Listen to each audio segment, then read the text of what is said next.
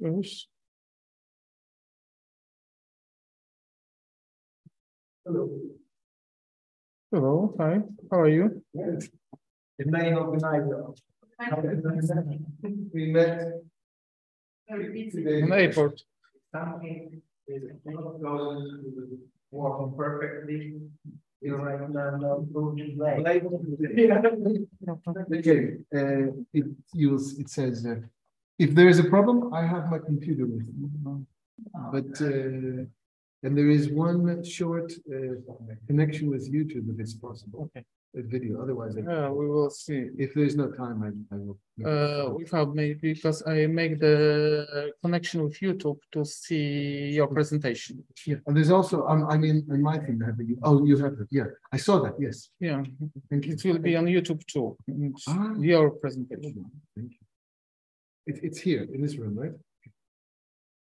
It's connection uh, Zoom and YouTube. I- Yeah, I, I, I got it, I sent it to Mm, some people who are interested. Thank you very much.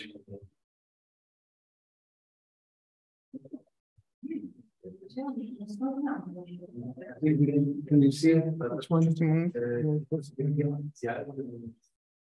Oh, interesting. Yeah, please. What- Which one? Uh, well, it says, uh, mm, did see. Uh, did- did see, yeah? Just Okay. take it to the copy.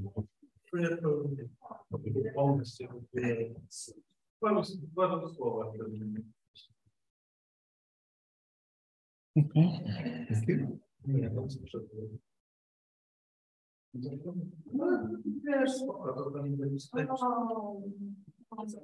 Oh, it works. Works. Trzeba na tę sesję musi wpisywać? czy- Nie, no, jest tylko jedna sesja, dzisiaj była tylko sesja online. Więcej nie ma. Yeah. Mm, Yes. mm. Słucham? Are you? uh, Tak. Co? Up there, up there, up there. Tak. Słucham? Ormianie. Nie wiem, bo ja nie, nie wchodziłem na ten cel, bo przecież, że, że ja nie... Że nie.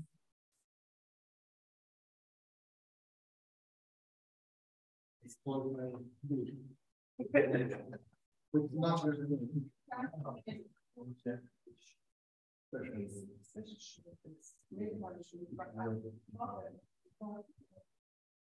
With not really- I'm sure. it will We need to have a strong. strong, very strong.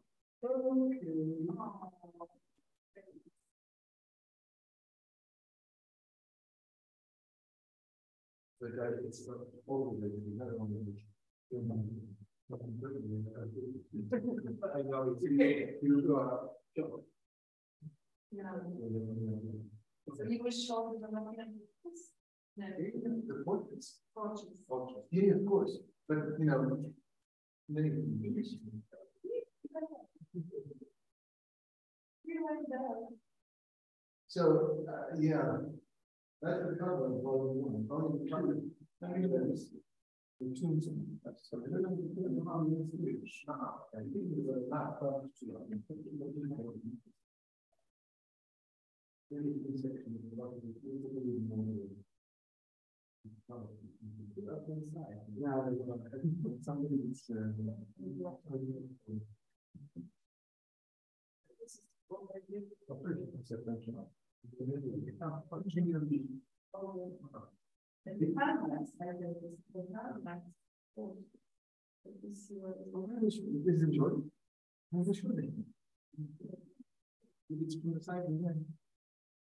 the.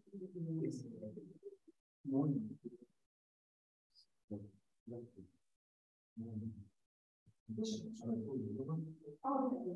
Yeah, yeah. I asked for. Ja mogę wziąć te mikrofony od ciebie. Proszę. Maybe we should do this next. Dobra. Dobra. Okay. No. Nie, mam nadzieję, że nie. Nie, nie, nie, to jest tylko działa. Tylko działa.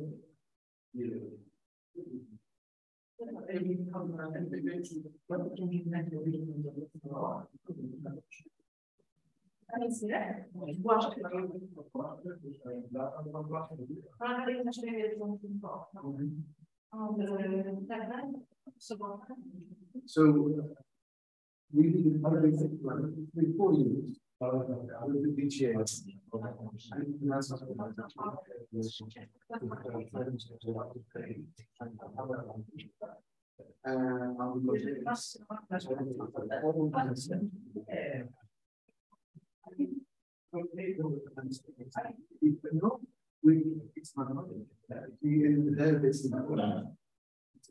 Ah, So that could be.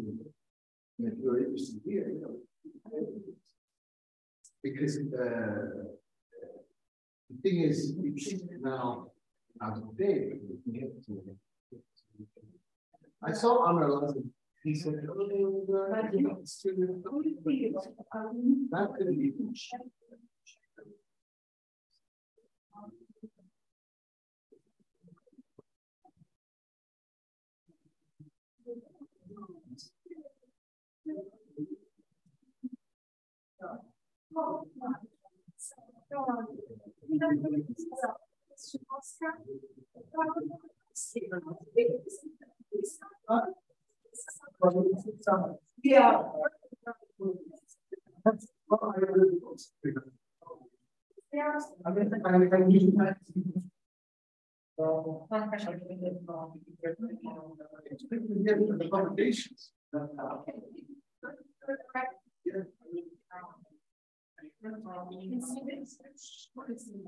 see them.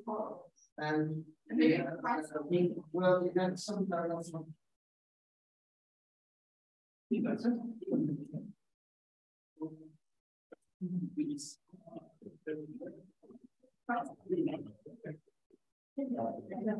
Well, Ela, teraz potrzebuję twojej pomocy.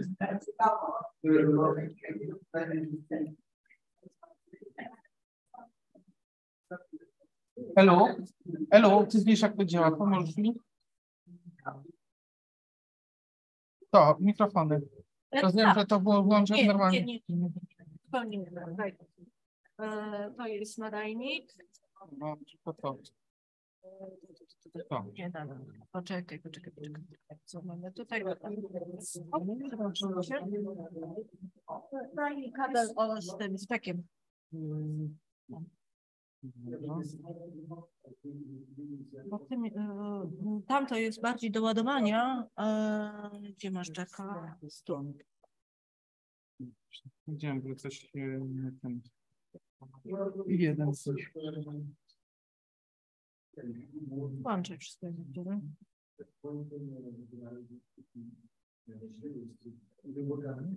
Halo, halo. Dobra, tylko jeszcze sprawdź, bo ty musisz zobaczyć, czy w Zoomie go złapało.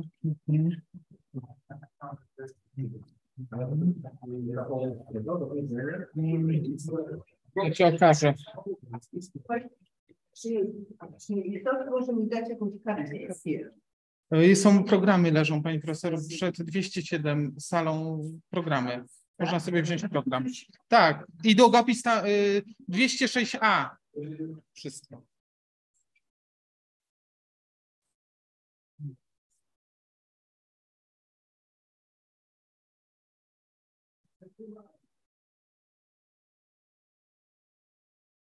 Nic nie działa.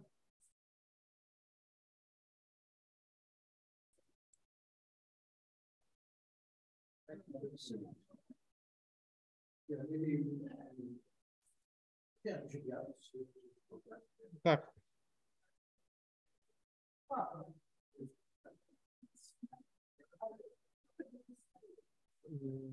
Elu, a to serdecznie, które to powinno być?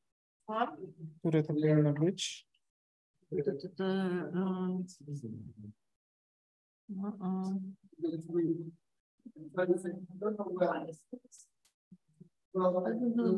Wybierz mikrofon. Tak, no spróbuj Tak? ten. Tak, bo on się, jak jest przez to, to on nie będzie rozpoznawany jako konkretny. Sprawdź, czy ten. Potem możesz. No, co mogę sprawdzić? Nie, nie wiem, procesy głośników. Halo, halo? Tu nie wiem. On? Na głośnik to znaczy, a nie ten. Teraz Mikrofon. Jest tu. Halo, halo? Halo, halo? Tak, zbieram.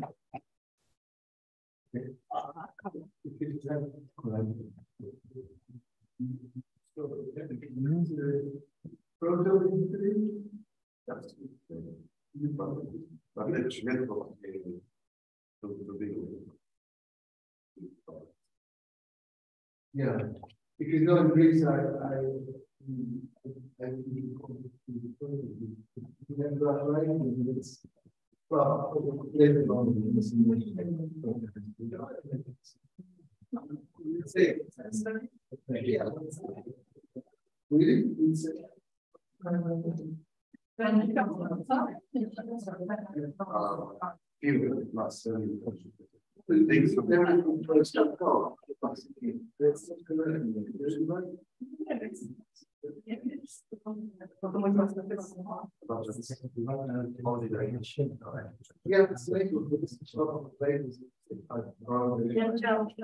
lot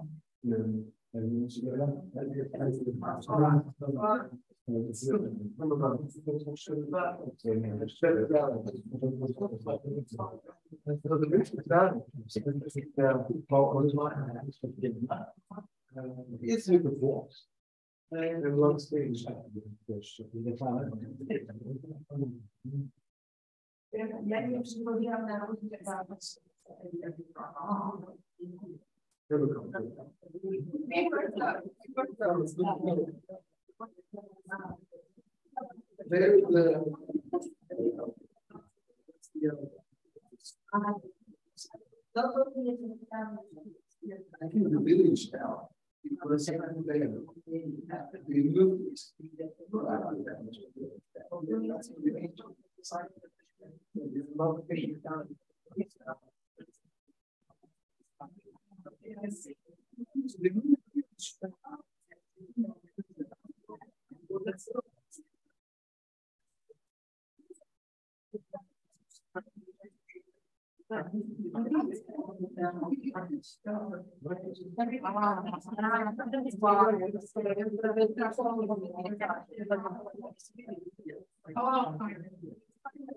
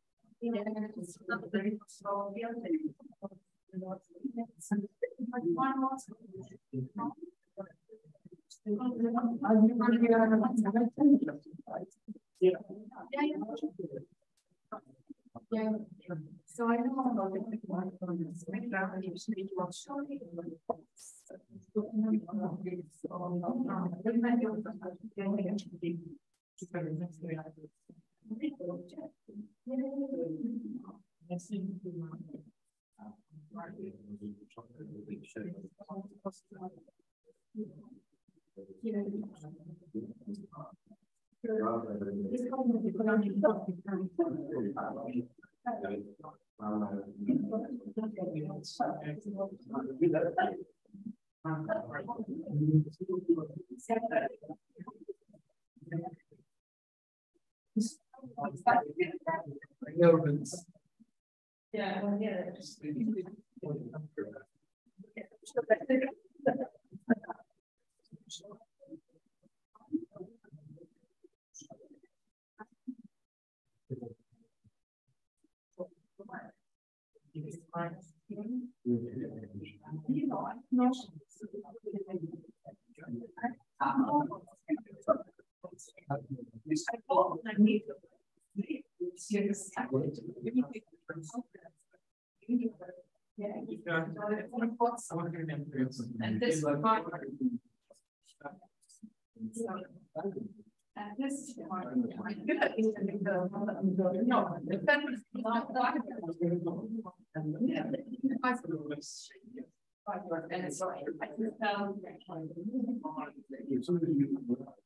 Think it's better. by the C positive origin. Uh, but I mean, we money and and and they are way of Yes, but you know, if I go exchange of this, see, charging like one price.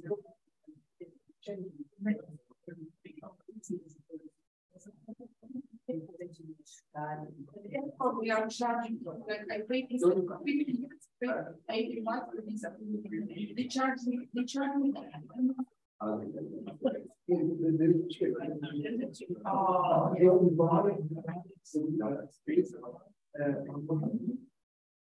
also.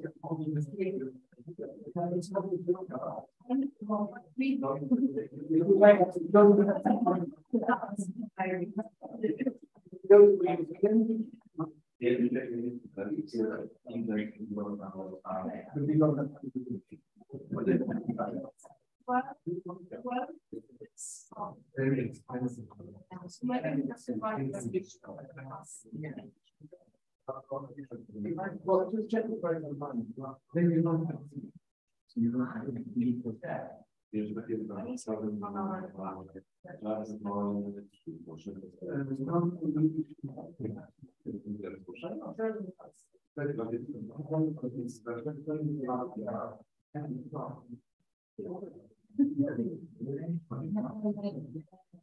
And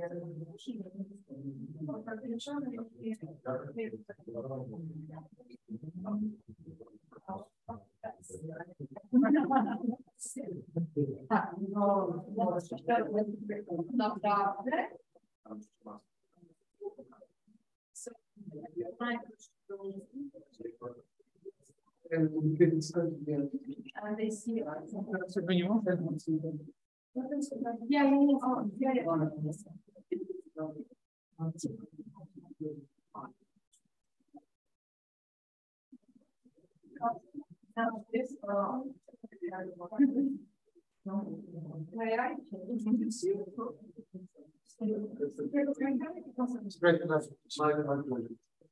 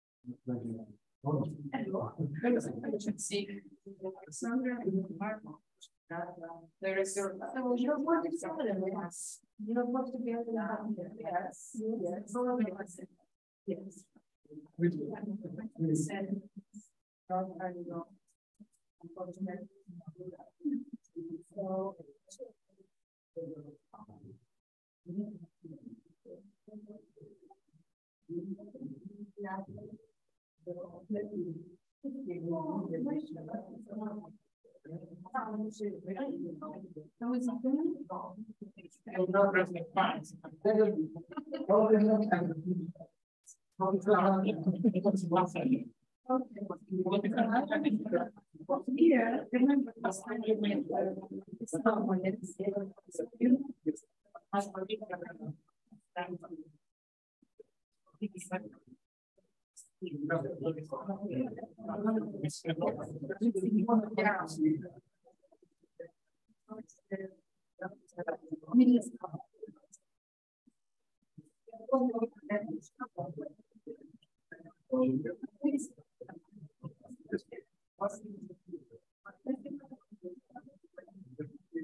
Thank you. Słuch.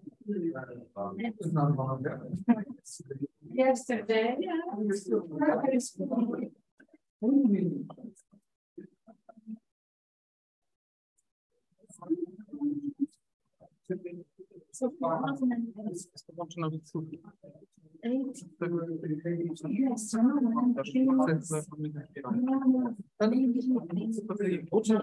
Nie, nie, on tutaj jest.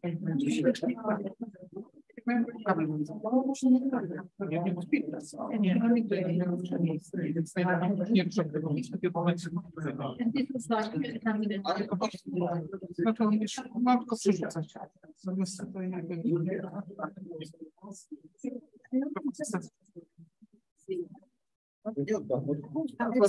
Yes.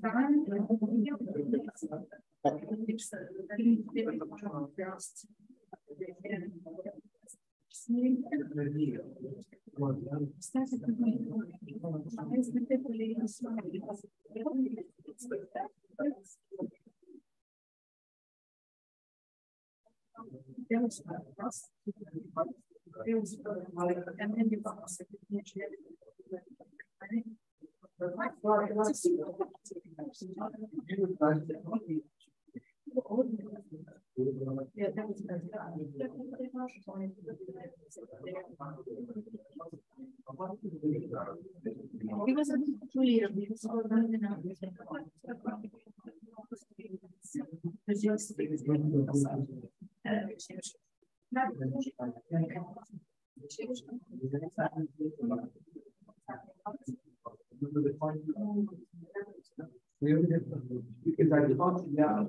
You should have. I don't, I mean, and also there is another thing. Because remember. It's can see the other side.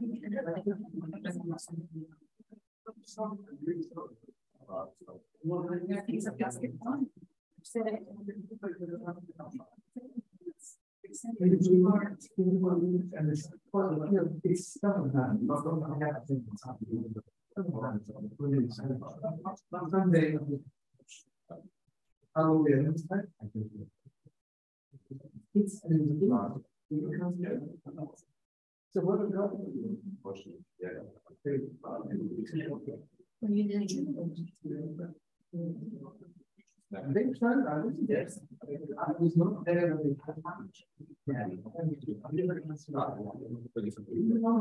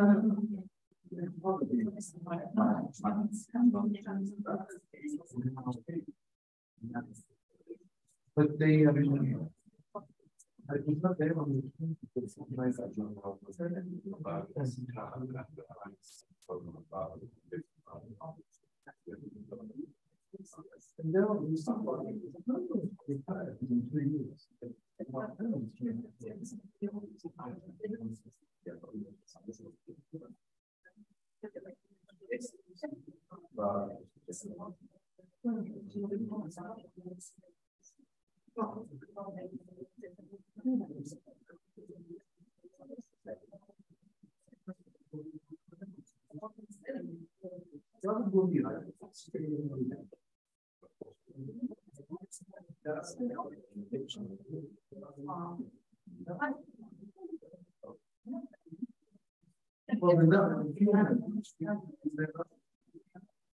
I'm saying more than my money, but it's uh, the one, the number is of the um, four hundred and eighty or something. But-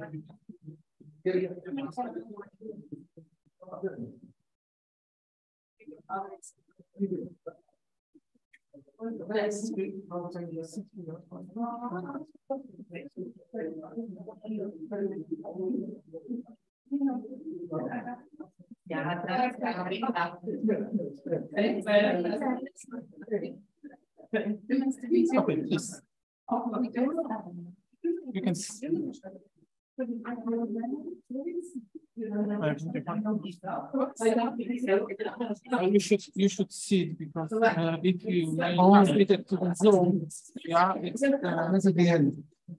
Oh, if we will speak, if you leave to the Zoom, you should sit here, okay? Oh, okay. But if I want to share something, I can go like that. Yeah, I think, like, No, I have this, I can go like that. Okay, but I usually from, it's from a radio. It's from a radio. One time I left in Germany and I went crazy, but fortunately, Robert Schickers was brought in minus. I was going to.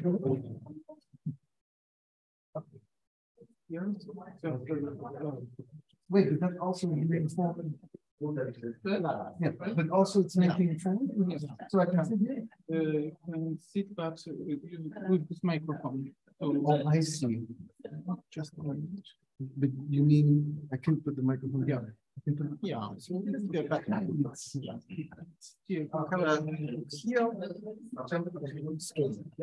Yeah, The next slide will be here. yeah, in that. Back here, And here, uh, when it's- That's really light, yeah, yeah. Yeah, that's fine. Well, okay, so, right. You, we can wait, we can wait, we can wait five minutes. Okay. Are you very, in front you are very on time? Oh, because. Stay wait, no problem. Oh, my mother is there. It's my mother. Oh, great. It's only one person who comes through. Well. Is there? That's right. Can she hear me now? Can she hear?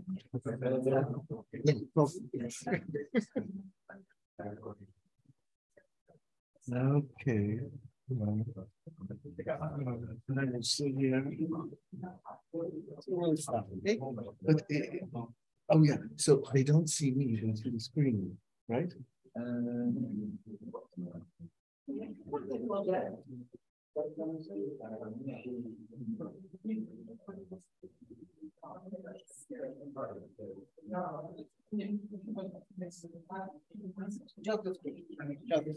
Good, so that's. good.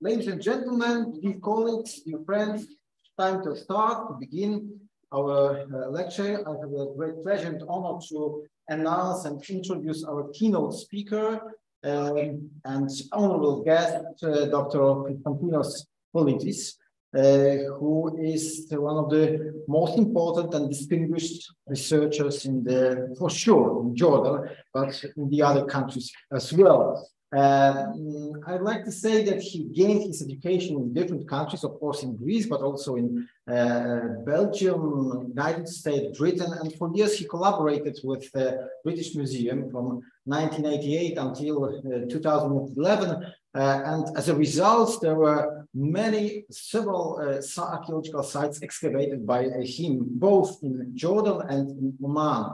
Uh, he excavated uh, different uh, chronological periods, starting from Neolithic sites uh, through Bronze Age uh, cemeteries, uh, Iron Age, also Nabatean fortresses, Roman forts, um, Byzantine settlements, basilicas, and also a Muslim on the, uh, also sugarcane factory from Islamic period, which is uh, early model, but brilliant one, really, uh, as refers to its technology. So, so really uh, great achievement, in my opinion. Uh, of course, uh, one of the best known and biggest achievements is uh, Lot's Cave and the monastery of in the vicinity.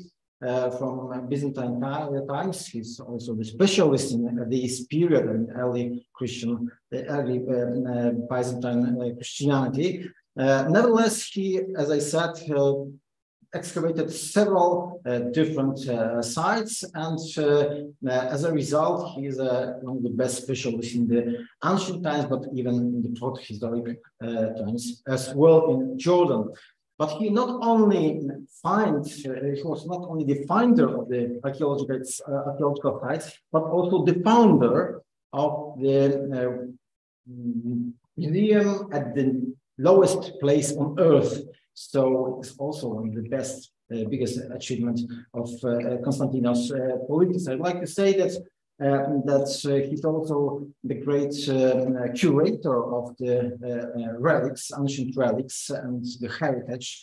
He managed to shelter uh, many uh, archaeological sites, mosaics, uh, ruins, buildings, and so on and so on. All in this situation when, in, in, which the heritage is in constant danger. It is uh, all the time endangered by the local diggers, bulldozers, and many other uh, uh threats. So uh, I would like to uh, say that we should we should should remind remember about it and remind of course.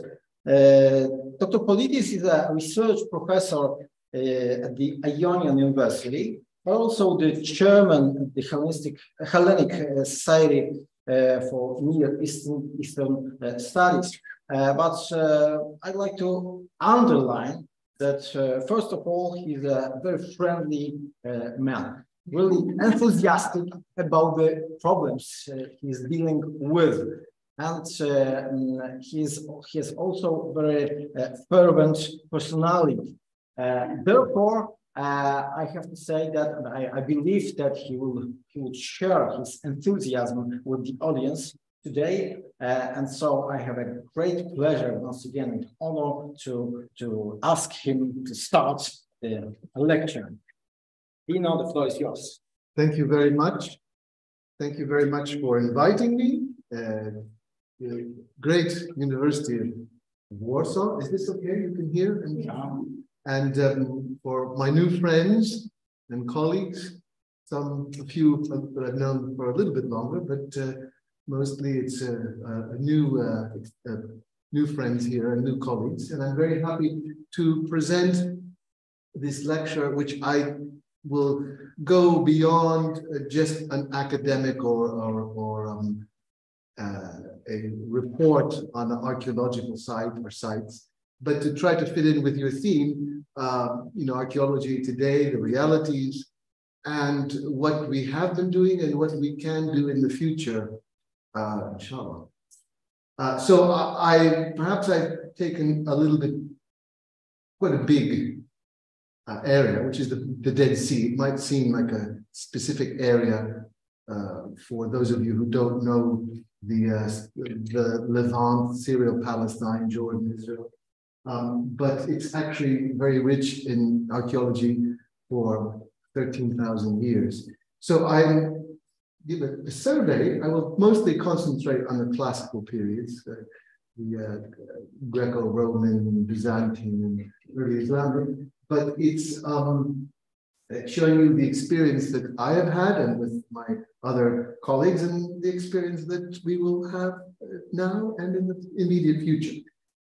So this is a view, uh, helicopter view of uh, the southern part of the Dead Sea called the Southern Bore, the Southern Valley in, in, the, in the town, of modern town of uh, Ghor as-Safi or uh, ancient biblical Zoar, Zoara.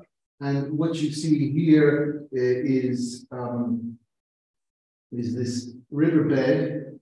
Uh, it's a wadi, it floods when it rains, a very typical Middle Eastern uh, phenomenon uh, where you have uh, seasonal flooding. And it, it's called today the Wadi al Hasab, but it's associated, I think, fairly clearly with biblical Zared. So we have biblical Zoar, biblical Zared, and uh, other sites in the area. So that's what you see here. It's been the focus of our work, but I'm going to talk about many other sites in the area. Um, so first of all, now this is this photograph are blocking the thing. I don't know if you can take them out, but anyway. Uh, first of all, I will show you the area, an aerial satellite view of the Dead Sea area, this valley beginning from Tiberias. So this is an unusual view. I I, it's not usually think of. You look from north south, but it's a very um, a very good way of showing you how this this uh, Dead Sea, which is shrinking, it's it's it's uh, slowly going down because of evaporation, because of the water being taken out from dams on both sides. But you can see the geographical position from the north going down to the Red Sea and uh, into um, Egypt and other parts of, of, the region, but it gives you a nice view. And on the right, the first uh, survey of eastern Palestine. It is now the top, the northern part of the Dead Sea. And this was done by the Palestine Exploration Fund in the late 19th century, where they made the first maps of the area of Palestine and also what is now Jordan, but they would call it Eastern Palestine. This was mapped and done uh, by hand. So it shows a very um, old system, but a very accurate system of, of, of, of, surveying and mapping. Of course, this was done by military um, uh, British military and it also had political reasons because the late, well, 18th century late 18th century, 19th century was still part of the Ottoman Empire. So the British had uh, interests in the area and mapping the area was a very important part of the kind of strategic uh, uh, interest. But they use that, they use the cover of historical and biblical studies.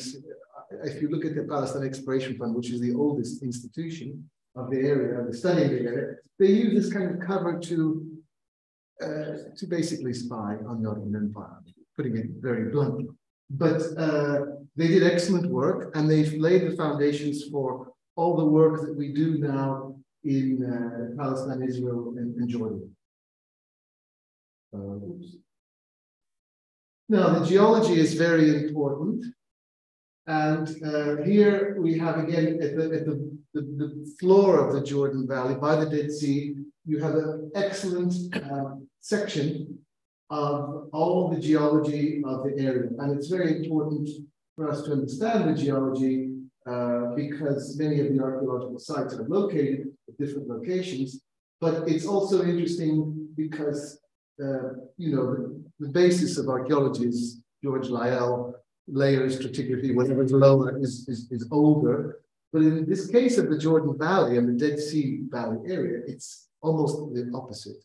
So instead of having the youngest things on top, uh, you actually have some of the oldest uh, periods uh, on the upper layers, and the youngest, which is the, the Wadi al Hassa, the river alluvials, and old Dead Sea, the deposits, only 12,000 years ago. Whereas the ones on top are older, even up to 600 million years or, or, or more. So the geology is fantastic here. And it's important to understand it because we're looking at um, human settlements for at least you know 12, 13,000 years.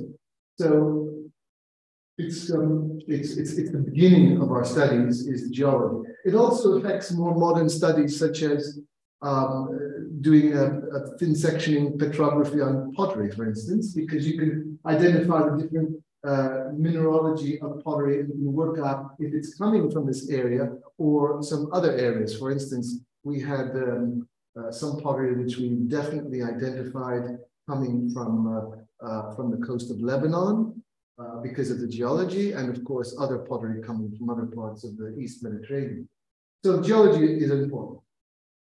Um, geology and topography or uh, geomorphology uh, is, is also very important understanding and identifying settlements, uh, human occupations and uh, settlements. This again, of course, is the Dead Sea area.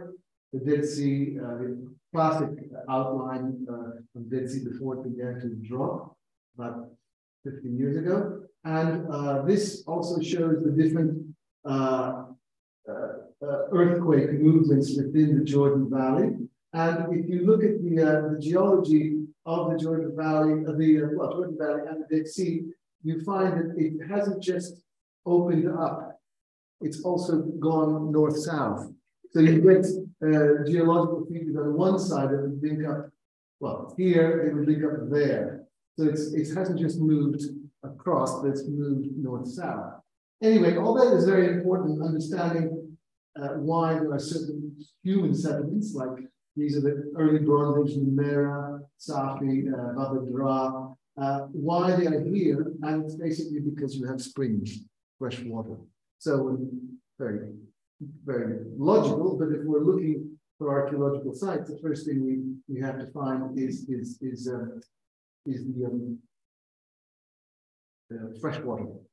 And uh, one of the features is that on the east side, the Jordanian side, on the east side of the Dead Sea, there are more archaeological sites than the west because the way the rain falls, you get more rain falling, what I understood at least, falling in the east and therefore, some 50, 60,000 years later, it comes out in springs or, or, or these wadis as fresh water, so you can have human occupation.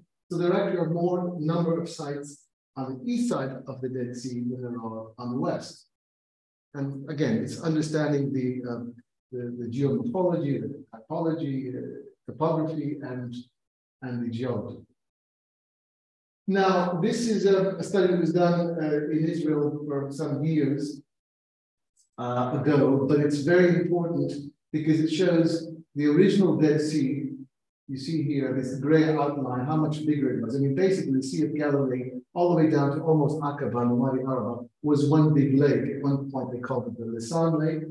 Um, that compared with the um, with the uh, uh, annual rainfall going back to four or five thousand years ago shows uh, us that many of these settlements by the Dead Sea uh, were related to um, uh, the annual rainfall. And that's been recorded from coring of the Dead Sea. We're working out, or they worked out, uh, the amounts of, of, rainfall and from palynological studies. And this morning there was a, a, lecture on, or several lectures on the on central Anatolia, the uh, sites there uh, and the fantastic work that's being done here by your university and I think other Polish scholars on the uh, the uh, palynological and climate studies. And this is the kind of thing that we look at also. So the peaks here, where it's wetter, happen to correlate, and actually it also correlates to central uh, central Anatolia in modern Turkey, where around the birth of Christ, Roman period, it's the wettest, and consequently we have more most settlements. Uh, and then there's a drop, and uh, around the year, well, is this around the Crusades? We have a Crusade specialist here, around 9,000, just before the Crusade, it seems to be very dry, and then it goes up again, and this is the period when we have the uh, uh, medieval kind of uh, indigo and sugar industry. So looking at the, the rainfall is very important, and looking at the palynological studies are very important. I think the Warsaw University and in Poland, you understand this very well.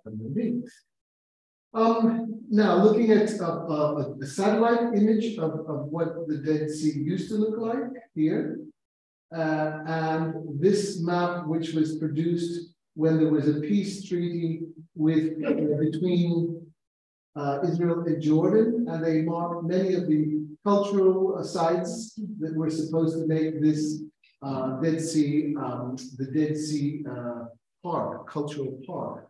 Uh, this was during the time of King Hussein in Jordan and um, uh, the Israeli um, prime minister, which I now forgot his name, the late, and they tried to develop this as a cultural park as, as a theme, the Dead Sea um, uh, not Yitzhak Rabin, um, he was the foreign minister. Uh, anyway, it doesn't matter. The point is, during this peace treaty that they had between Jordan and, and Israel and Palestinian areas, of course, they uh, developed or they marked all the cultural sites that would have been of, of, of importance to um, Shimon Peres. That was it, Shimon Peres. So this is a very nice volume that they produced during the, the time, I think, of his uh, ministership uh, presidency. And uh, it picked up, it, it, highlighted how important the Dead Sea was as a kind of a cultural, historical park. Unfortunately, it didn't really move in that direction, even though there is a peace treaty, but um, you can see many of the sites here marked on the map on the left, on the right.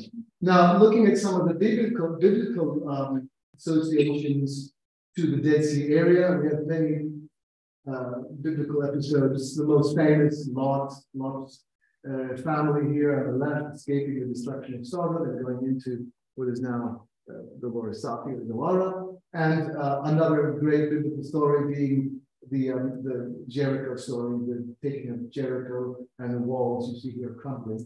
Anyway, this has been associated with certain Bronze Age periods. It's difficult to identify exactly when, but there are many large Bronze Age settlements in the Dead Sea area, um, even though the dating 5,000 years ago may not be correlated very well with some of the uh, biblical interpretations. The fact is, archaeology is that we have uh, many uh, important uh, uh, cities of this five, five, four and a half, five thousand years ago, Bronze Age, early Bronze Age, with uh, such, you know, pottery that you see here, and even imported Egyptian objects such as this uh, anthracite bowl on the left.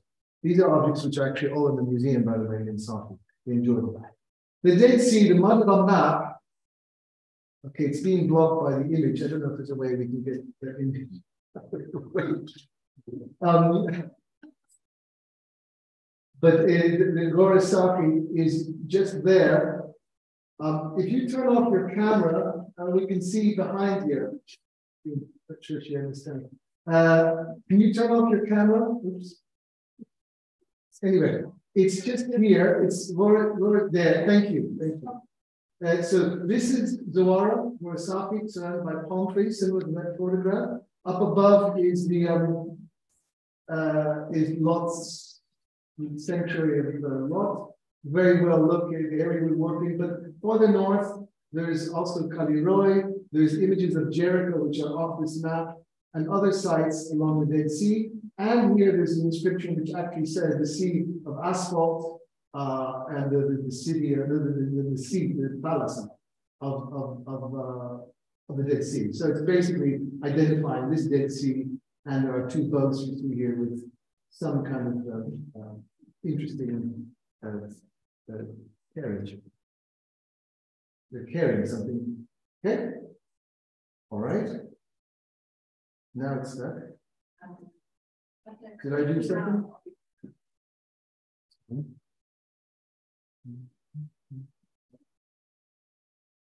I know.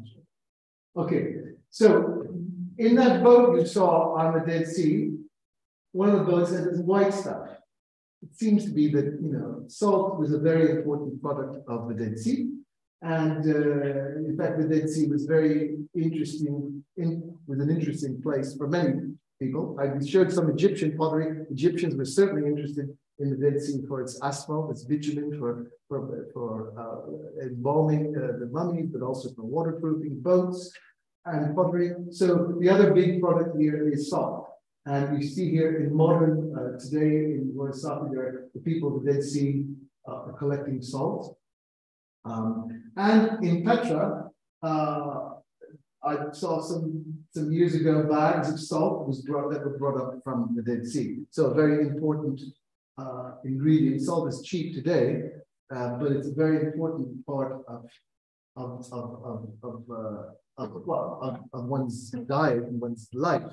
And I know that here you've got great salt uh, uh, mines in the south of Poland. Again, very important resource. And uh, there are Romanists here which, which can explain to you the meaning of salary in the Roman period being a very important part of the way that Roman soldiers were paid in salt.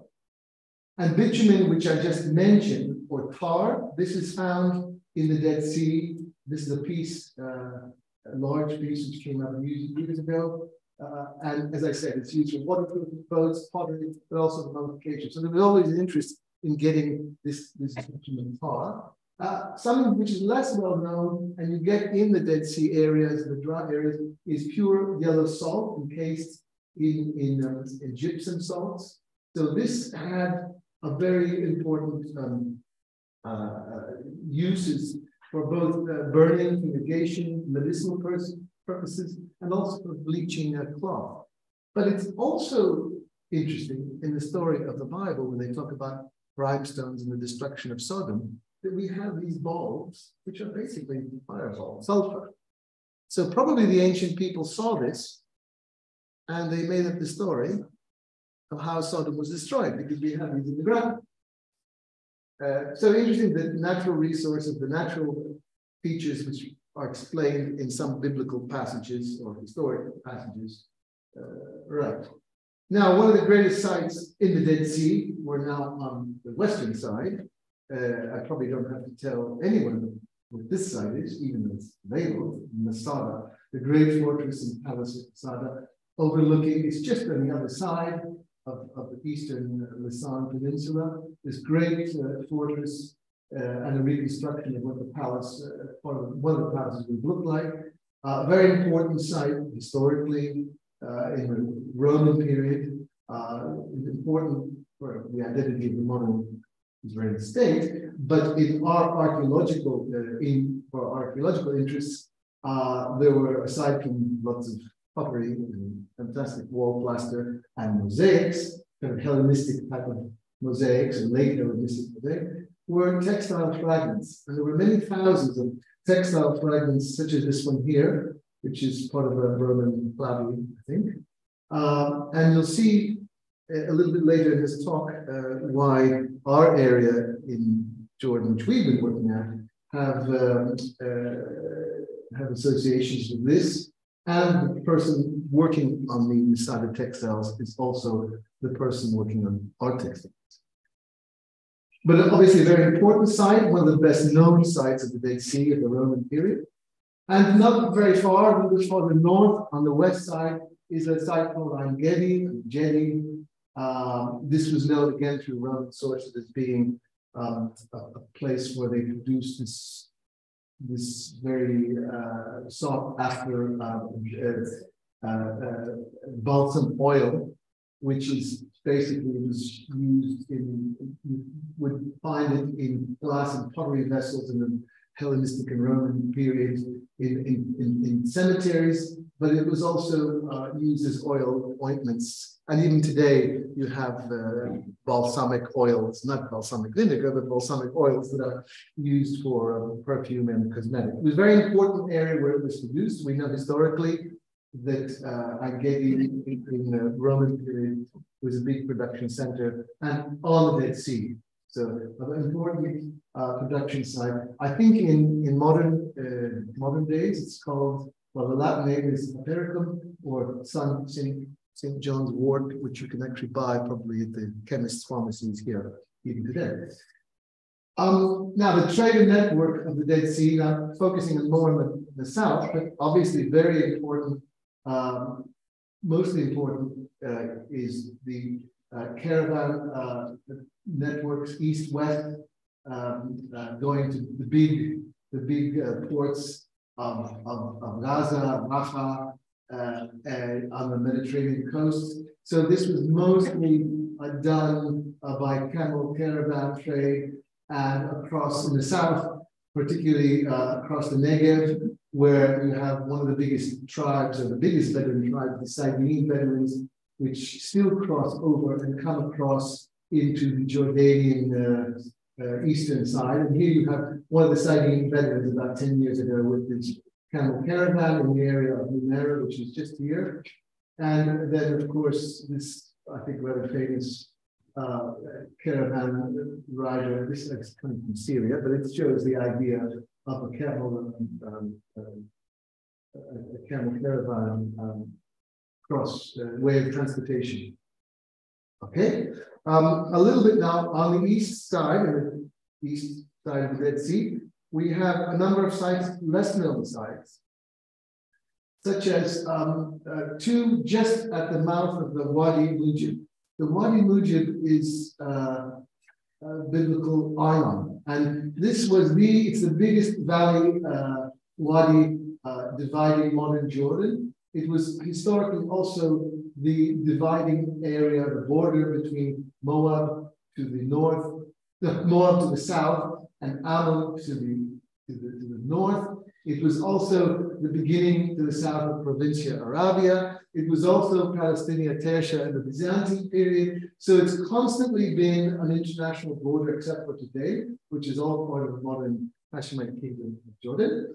And at the edge of this, you had uh, a couple of sites, the watchtower and a temple of the Nabatean Roman period, which was surveyed by Jordanian uh, Taisir uh, Atiyat.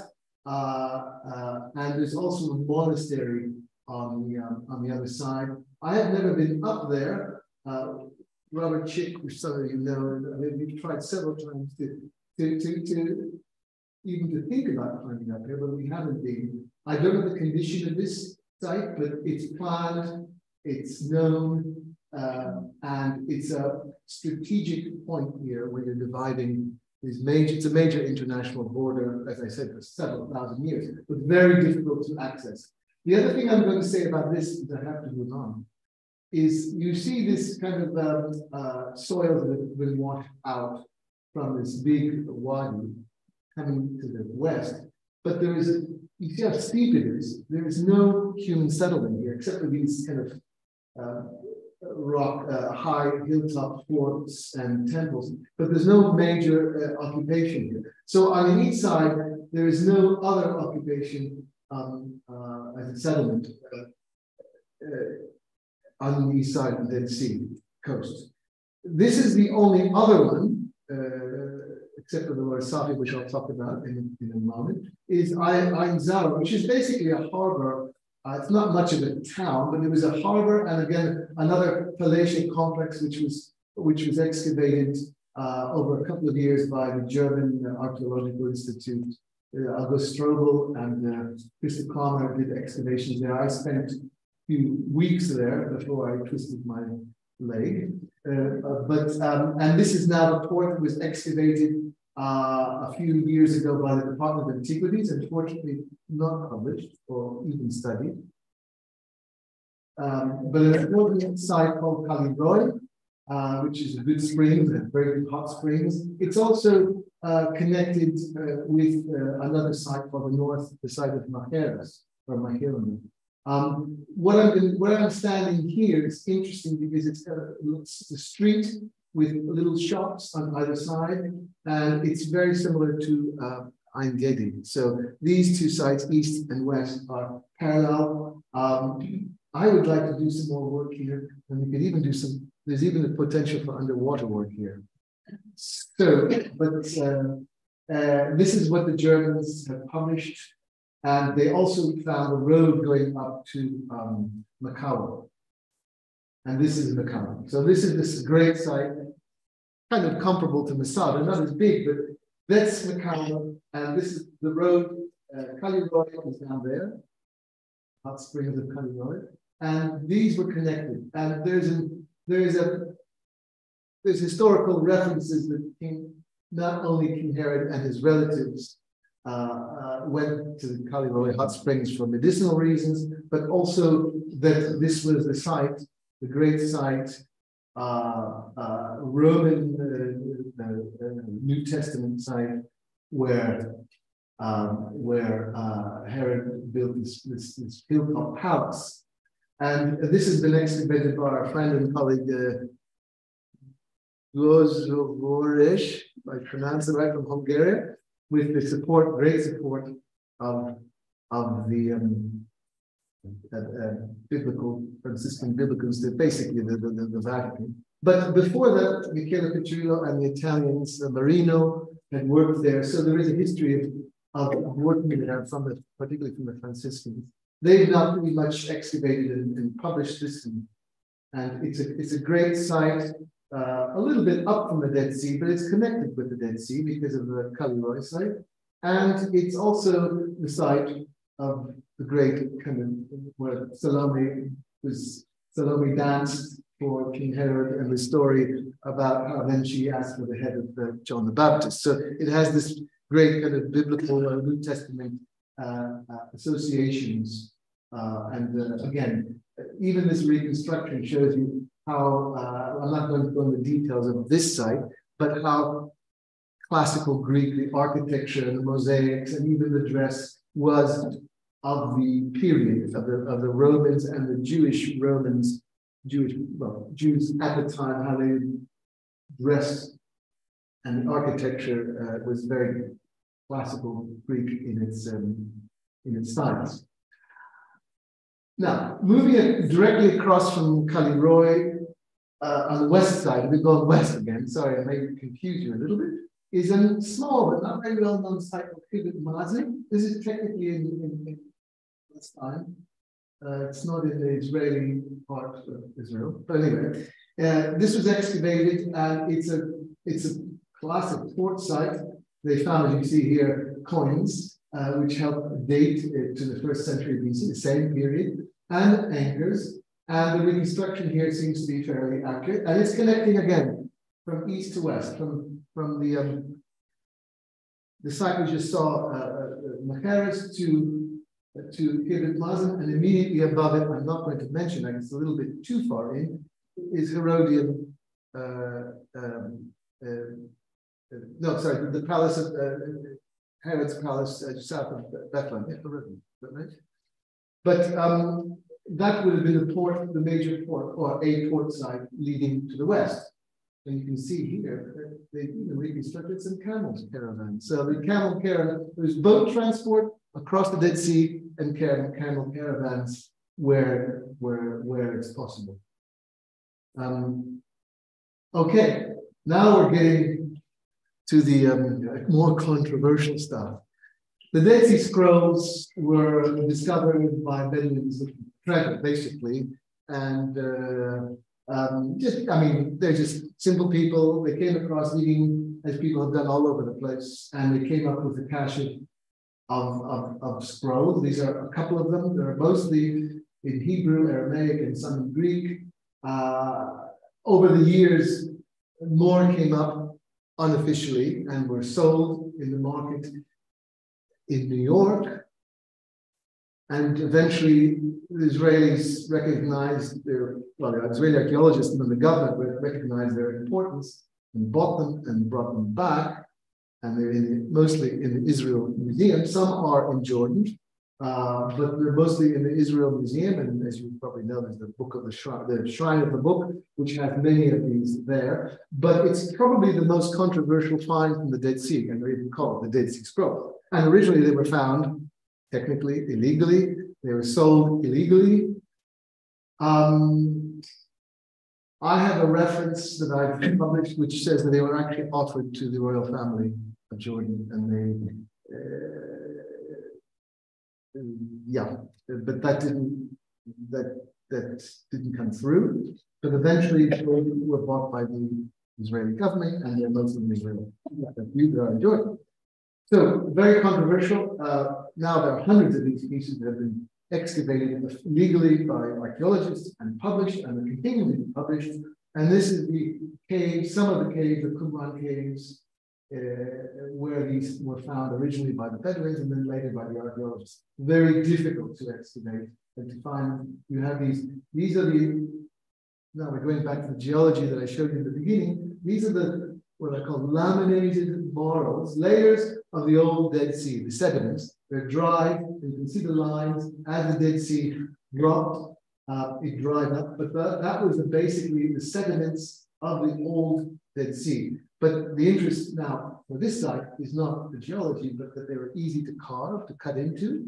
And that's where many of these caves, the Qumran caves, the Khirbet Qumran, uh, that these many Dead Sea scrolls were found. I misspelled the scroll. Sorry. Or did I? Anyway. um, these are some of the copper scrolls that were found in the jar. The, the scrolls were basically parchment rolled up. But they're rolled up and found in copper jars. These were some of them that were they were, were in Jordan and they're in uh, they were made of copper, not just not just in paper. And the tomb types here are very interesting.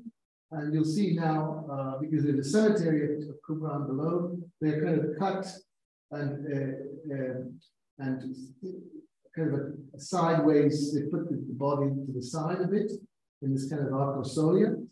Um, and uh, this is now another our work, which is very interesting. Because uh, in the Jordanian side, these are now the cemetery of Qumran, published, and the, the, the, the, alignment of the tombs are here, and they're very similar, the alignments of the tombs of the site of Qazone in, in, Jordan, where we have worked. Um, and we're looking at comparing, well, we have compared to Qumran.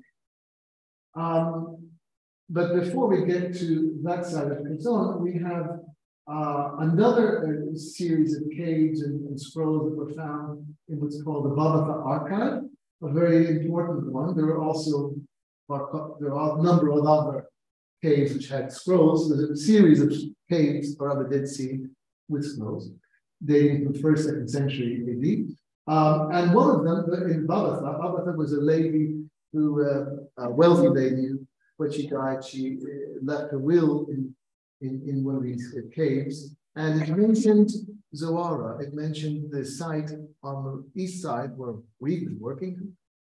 We'll continue. Um, so we're making the connection now east to west.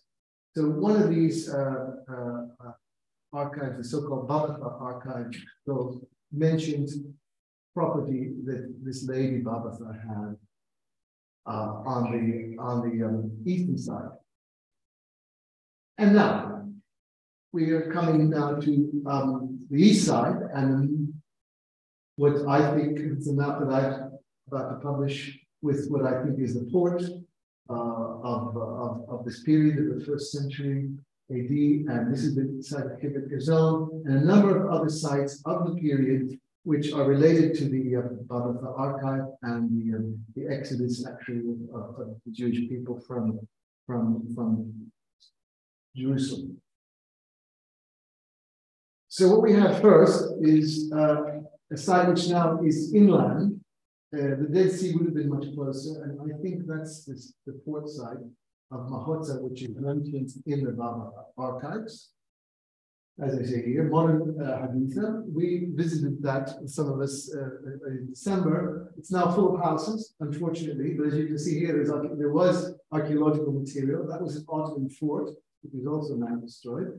From here came uh, two, you know, uh, perfectly preserved plates, a helmet, which is now in Amman, and down below, just here, uh, rescue excavations reveal the uh, Hypocaust Roman bath system. So this was a, a, first, second century AD Roman site, which had been devastated by uh, human modern whoops, by modern human uh, occupation. Uh, and it brings us this problem of modern people living in the site and how you deal with the archaeology. Well, in this case, this is one of the sites that's virtually destroyed. Uh, it's above it were tombs. Many of them have been looted. Most of them have been looted. It's hardly a site to visit. We tried to visit and it was like depressing. But this is when the human um, uh, growth of human settlements destroys sites. Now, uh, this is the same. Uh, this is no, it's, it's, a little bit farther south in what is called Zoara. That what I just showed you, the bay of Haditha, and what I think is the southern port of Mahoza is here. And this is the site of uh, the cemetery of Khirbet Qazone. This one here is the aerial photograph of, uh, of, the, of the area. Uh, we found well, I found what I think might be an anchor, but I can't find it on the site. It's somewhere there. Uh, but there is time definitely to make a connection with with the west and east. So we're in the east. Another helicopter photograph of Ror Madra, or possibly what I think is Mahoza. And this is now uh, 1992 aerial photograph. You see here a nice clean area police post here, the governor's office here, a, a 1938 British mandate map, which locates it and mentions a, a, a farmland of Haigazon and Armenian from Kerak who owned the property, but no archaeological thing, no archaeological indications, and certainly just nothing to be seen in 1992. Uh, we used to drive through here to go to our project. And uh, during the time, we began to see that people were digging and they discovered something. And here it is.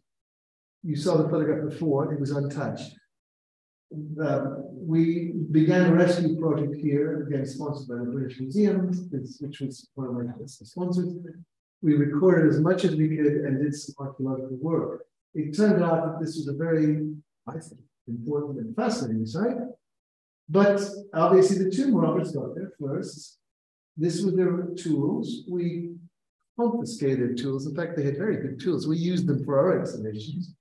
And we also talked level people who are all tomb robbers, and they told us how it worked. So they would take this, uh, this poker and they would put, you see these holes, they would press it into the ground, and where it was soft, that's where they had dug, and then they would dig their hole. So these holes were their test they're testing. Uh, this particular piece I took to the British Museum and I've given it to the British Museum for their ethnographic collection. The others are not, I thought this was, you know, quite nice to give to them. And it wasn't really antiquities, but it it it it's, uh, it shows how the two are. Now, I cannot find this depiction, but there is a depiction from the 19th century, Italy, they call them tombolada, tombolada, and they had exactly the same thing poking into the ground. it's a, like a drawing. It's not a photograph. I, I'd love to find this. So please help me to try to find this drawing of the 19th century showing them in Italy doing the same thing. So we're talking about realities here of archaeology, right? This is supposed to be the topic, uh, not just the traditional reporting. So we not only, or I, and we not only followed the tomb robbers, which are just ordinary people, but we ended up employing them because we started to dig and we couldn't find it. And then we said, okay, we'll employ them. And they found it right away, immediately. They found the tomb. So this is our department antiquities car, and this is us here, and uh, a friend had taken airplane, took photographs of us. Anyway, the point is, we recorded all the robbed tombs. We did a, a, a, a map of the area, and uh, literally counted every tomb and then recorded the surface. The idea is then to go back and count them every year and see how many tombs have been robbed, but it's also important to excavate. And we did excavate. And here we are excavating directly across the police post. In fact, the first time we went there, I went to the police and they said, let them, not us, but the, the work, the tomb robbing. I said, they're robbing the tombs. You said, no, let them work, let them work obviously there's some hearing going on. So that's the police but what the. Oh, I'm doing the wrong thing. Okay, so the reason I want to show you this is first of all the, the, location of the uh, of the tomb directly across from the road, and then the depth of it. I think these are kind of arcosolia, deep shafts, about two meters, and they go slightly underground. So that's the type of tombs. And here are the drawings. This is a, a very typical example how they were. And they're just like the Qumran ones. So uh, we began then to associate this to the Qumran burials. And we had you know, a royal visit from Yoram Tsafrir and Yitzhak Hirschfeld and um, they're all now not with us, and uh, the other one Anyway, the Israelis got very excited about this, but I said, look, there's no indication that these were huge barriers. But the, the, the type of uh, tightly packed bricks here, mud bricks, adobe, uh, led to you know them being anaerobic, there's no air, so that the, the textiles uh, survived. Now, remember you saw the fragments of Masada, um, I contacted uh, Hero Granger Taylor, who still is working on of material. And I said, what period do you think these are? And she said, uh, the same period as Masada. And you'll see in a moment. So these are some of the textiles that are not in the best of shape. This was a mother and her child in this tomb wrapped. There are two, two sets of uh, textiles here and a belt. Um, uh, and there's also leather, uh, leather shrouds here, stitch. You can see the stitching. So there's, te there's textile and then there's body bags of leather. Now these the textiles were reused; they were clothes reused, but the, the leather is uh, was actually very interesting. And unfortunately, we only studied this, but we haven't. Um, and the reconstruction of now this more that come up in, in, in, in excavations. Uh, and the French have been digging some tombs in the Deir Sala at the same period. And this is the way that they reconstructed it. So very similar also to the same period as, as the, as the Fayum uh, mummy, mummies and, uh, and in Saudi Arabia, Medina Sarin and Qazone, and now also in Petra itself. But because Petra is wet, wetter, they haven't survived. But down here, we have very good uh, uh survival. And I think this reconstruction is, uh, from our French colleagues, is, is, is very good and probably correct. Um, and again, now showing you a number of other sites where they had similar types burials, um, like the ones we have, also Qumran, Beit Safafa, and other sites now, which is coming up. And the conclusion that I, we are coming to is it's not necessarily Jewish, it's just typical of a Dead Sea area. So now we have a Dead Sea type of burial, or at least in the area uh, of the Dead Sea is this type of burial that's the south. Well, once the, obviously the media started hearing about this, it, it, it, got in the newspapers, both in Jordan and uh, this is the in the French uh, what's called, Revue Biblique and, and other uh, magazines, uh, biblical archaeologists talking about the site. it became quite um, uh, interested. People were interested. The finds from the site, because again, we're trying to date it, it was very difficult because there weren't really many objects in this. But in, in the tombs, except for jewelry, which was pretty typical first, second century, and the pottery was in Brazilian, so that was fine. It went along with the uh, textile period. Then we had some some some um, grave markers, and they also fitted with this kind of Nabatean kind of uh, like Betils or or, or Nefesh kind of signs, even on bricks. And they're very similar to ones we find in Petra and Kivitidium, which is just up on the plateau in Jordan. So I'm calling this, I have called it a Nabatean uh, settlement, cemetery. Uh, we, another uh, inscription now, there were some inscriptions that come up. This one here, which is from the site uh, in in uh, Kali, but I think Apseni is actually a Semitic name, but Kali means the good one. So that we found. But these two pieces I saw and photographed. I had them in my hands. Took the British Museum, we photographed them, and then I probably should not have given them back to Mr. Musaif, who uh, he said, I didn't think you were going to come back. I shouldn't have brought them back. But it was his private collection. He had bought them, and they said it was a site near Bab edh-Dhra. You know, it was unknown site. I'm, I'm almost 100% sure it's um, it's the site, our site of Hibber These have now been published by um, John, um, his name is very famous, calligraphist. And they're published, uh, they mention the dates uh, in the edition in Bosra, they're in Greek. Um, unfortunately, it's in a private collection, but I did get to photograph them, and they are now uh, published. So I will refer to them as possibly, if not probably, coming from this side. But again, this problem about tomb robbing and how things um, and how do you trace them down? Well, I was lucky to trace them there, but you can't always do that. So it's detective work. It's really detective work. Um, um, the site then, I got two seasons of, of work uh, from the British Museum, but again, everybody wants something. Here we get realities. The British Museum wanted some textile. They wanted some objects. The Jordanians didn't seem to care very much.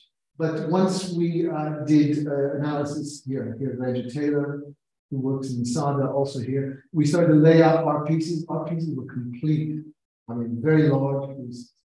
Uh, I did a presentation to the British Museum trustees, and it's my honor to have this particular trustee ask about the project. You may recognize him in the earlier days, um, uh, Richard uh, Attenborough, Sir Attenborough. Uh, and uh, then they made a deal with the Jordanian government, uh, where 12 of them were concerned.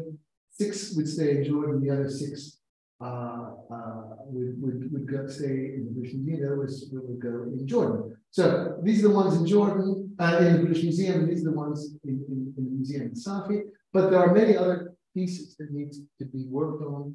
Uh, and we did continued excavations, and we've come up with more, such as this complete shawl here, which was taken to Greece. I took it to Greece. It was conserved. Your hero again is studying it. This is after its conservation. And this is now returned to Jordan. It's on exhibit. So a complete shawl, uh, again, of this period. We have 53, actually we've got 57 pieces, but this was number 53. A very important collection, again, from late Roman textiles. These are two pieces which are in the Jordan Museum, these here. Uh, and you can see uh, the pieces in Jordan and the pieces in the museum. These are the panels which ex explain the importance of these textiles. And you can see here where our, analysis of the weave types and the dyes and the styles, and they are just like very important. Um, very important collection after Masada and Palmyra, and of course Fayum. So we've got Fayum, Masada, Palmyra, and now this site here, not very well known, the site pieces here are com mostly complete and there's probably more underground. I tried to kind of explain the style of it, as I said before. Um, even uh, that it's a fashion, it's not necessarily associated to one cultural group. Um, even though you have uh, the synagogue in Damascus showing this type of dress, in Greece you have this type of dress, and even um, even uh, the, the, Virgin Mary is who was a weaver is dressed in this kind of um, uh, shawl and clothing that we have. It's basically style of the period, whether they're Jews, Arabs, Greeks, Romans. It's not, and this is how Hero Granger Taylor is explained, it's not uh, necessarily associated to a religion or even an ethnic group. It's like wearing blue jeans today. It's a style. So that's one of our major conclusions, and we try to explain that to the local uh, people who visit. Uh, but there is another phase to the project, and that was what we've identified now as a, is a Christian period. So these same cemetery, these people, the Nabateans, which we know from Petra and other sites, became Christian. And we have tombstones that mention Nabatean names, which you see, which are uh, Christian. So there's a continuity. And here are some of the early tombstones from Ibn Gazan from the fourth century with very rudimentary crosses. Here, an alpha and omega and a palm branch. Here, another kind of part of the cross. Very, very, you know, early Christian symbols. And just to make the point that it's not the only site, very similar stuff found at Ibn again in, in southern Jordan. Very similar, these are published uh, with Greek and, and kind of similar, kind of simple crosses. So we've got a parallel that this community is continuing. Then, across the street, the bulldozers discovered this. So the local inspector who excavated this behind the bulldozer or in front of the bulldozers uh, called this the Hazon Church because he didn't have any other name. Uh, and as you can see here, it's quite intricate. It has some Greek inscriptions, no dates, but it's obviously showing that there's this continuity of the people that were Nabateans into the Christian period. So we've got Nabatean religious markings, we've got the Christian markings, which associate this community of Sea being uh, Nabatean and then Christian. Now, there are other sites of this period in the Dead Sea area. There's this place here, which is sadly uh, owned uh, in private farmland, which is not exactly bulldozed, but plowed. Uh, if you try to go there, well, you can't go there now, there's no fence around it. But they must have found stuff because this stuff here was shown to me. I took photographs of it, and then it went. Uh, this uh, they managed to managed to reconstruct what's in the museum, the Nabatean bowl. This also we managed to get in the museum, and very shards which we found on ground. Now, this has not been excavated. This is the Varsafi, the Dead Sea, the Wadi al Hassan. It's this place here called uh, Al which means the sandy land of Mr. David, or the family David. That's I, I baptized it.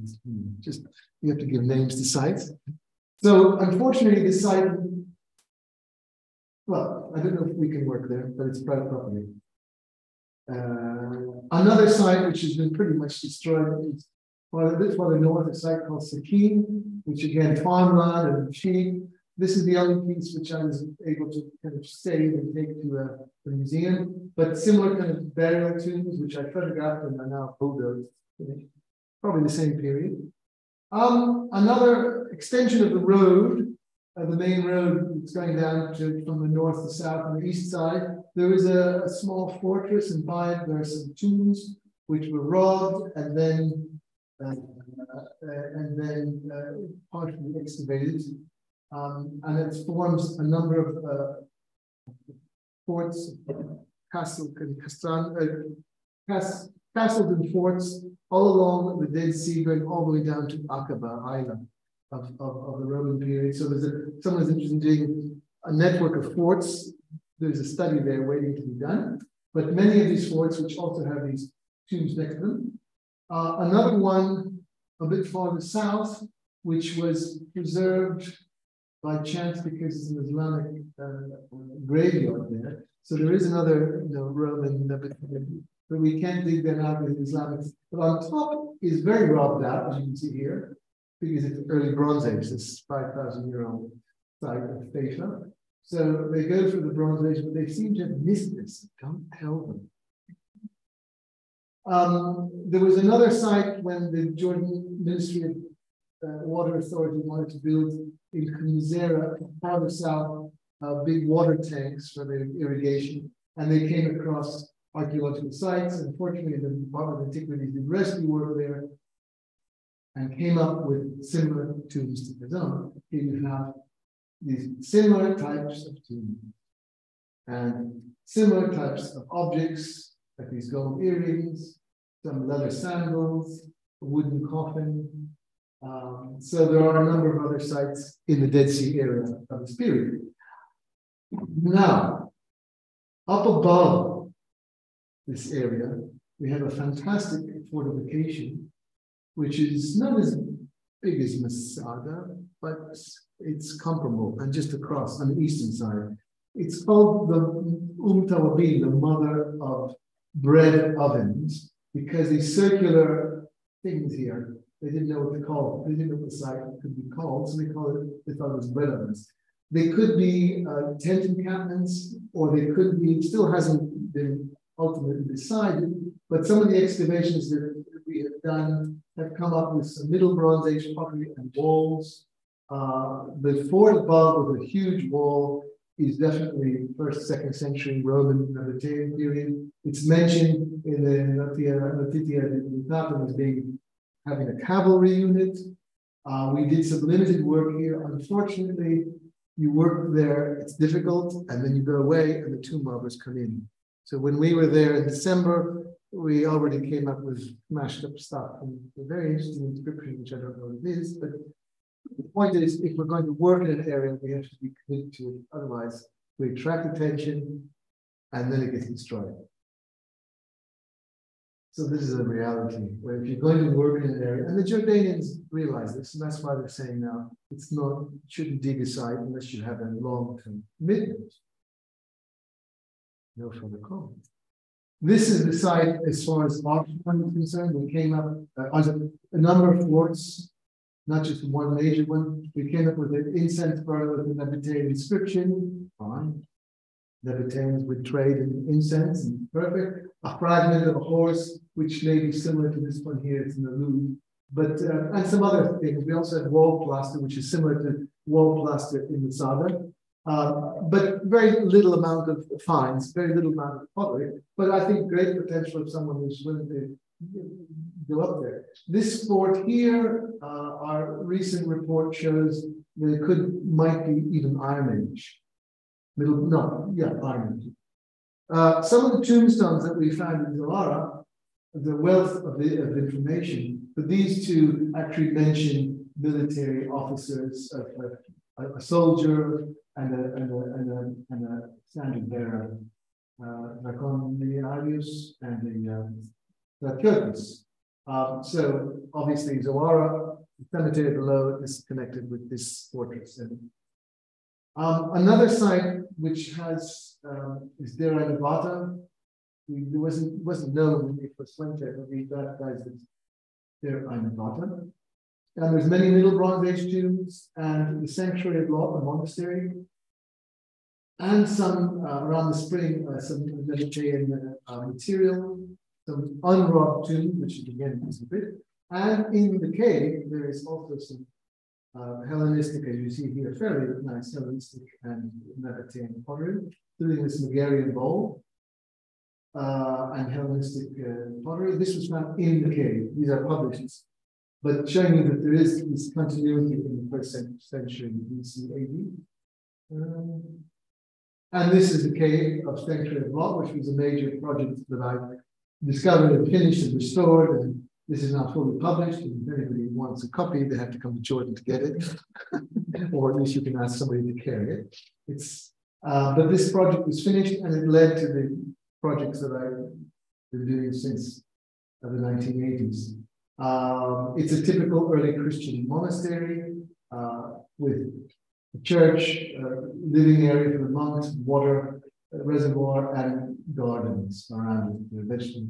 And we were very lucky to have inscriptions dated six oh five, six nine one, and uh, one more, six five four, or the five, four, six.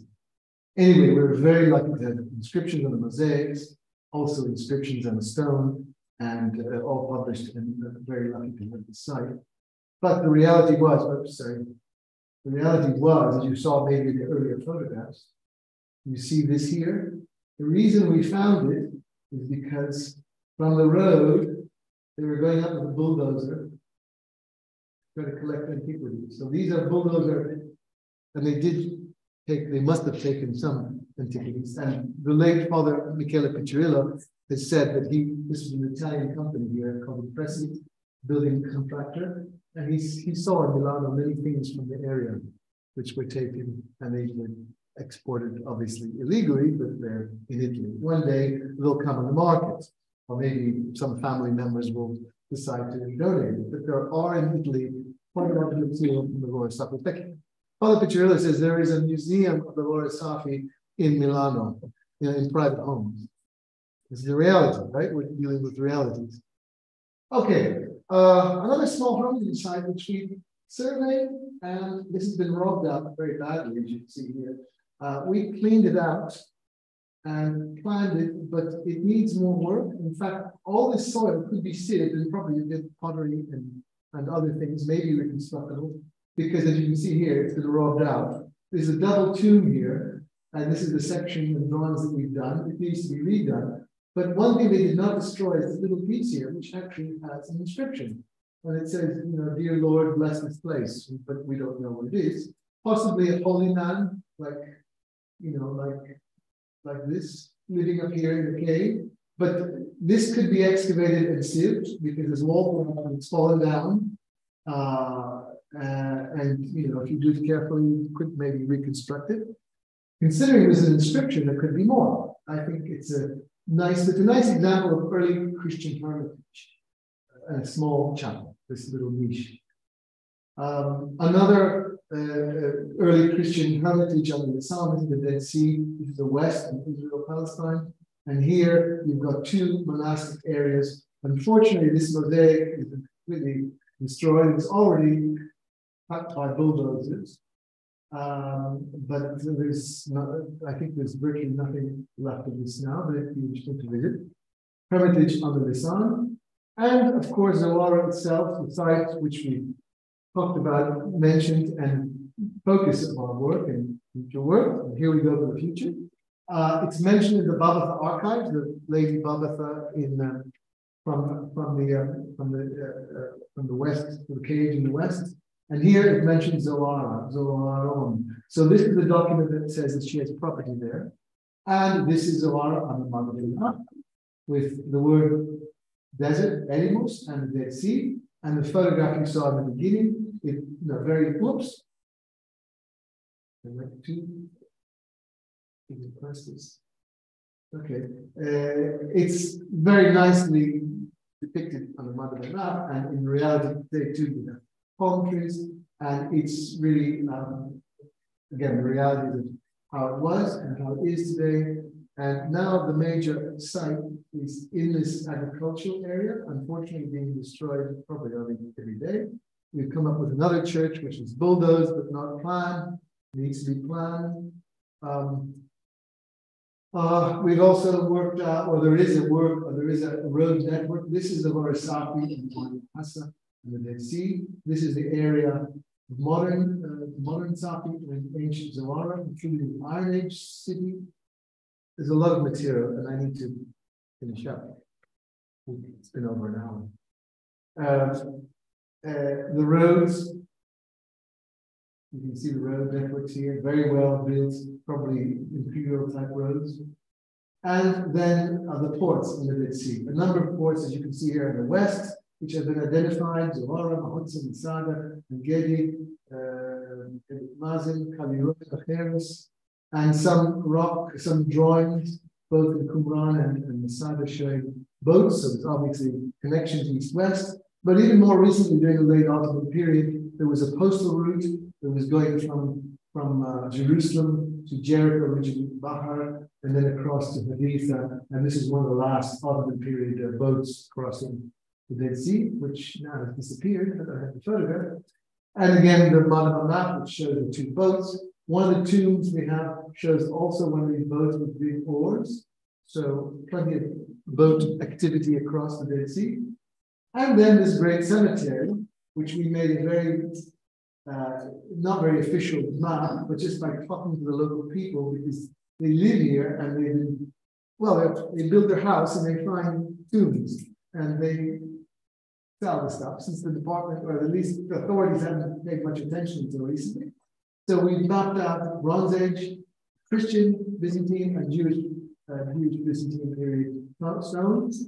This is one of the most colorful ones, which is in the cover of, of our recently published volume two.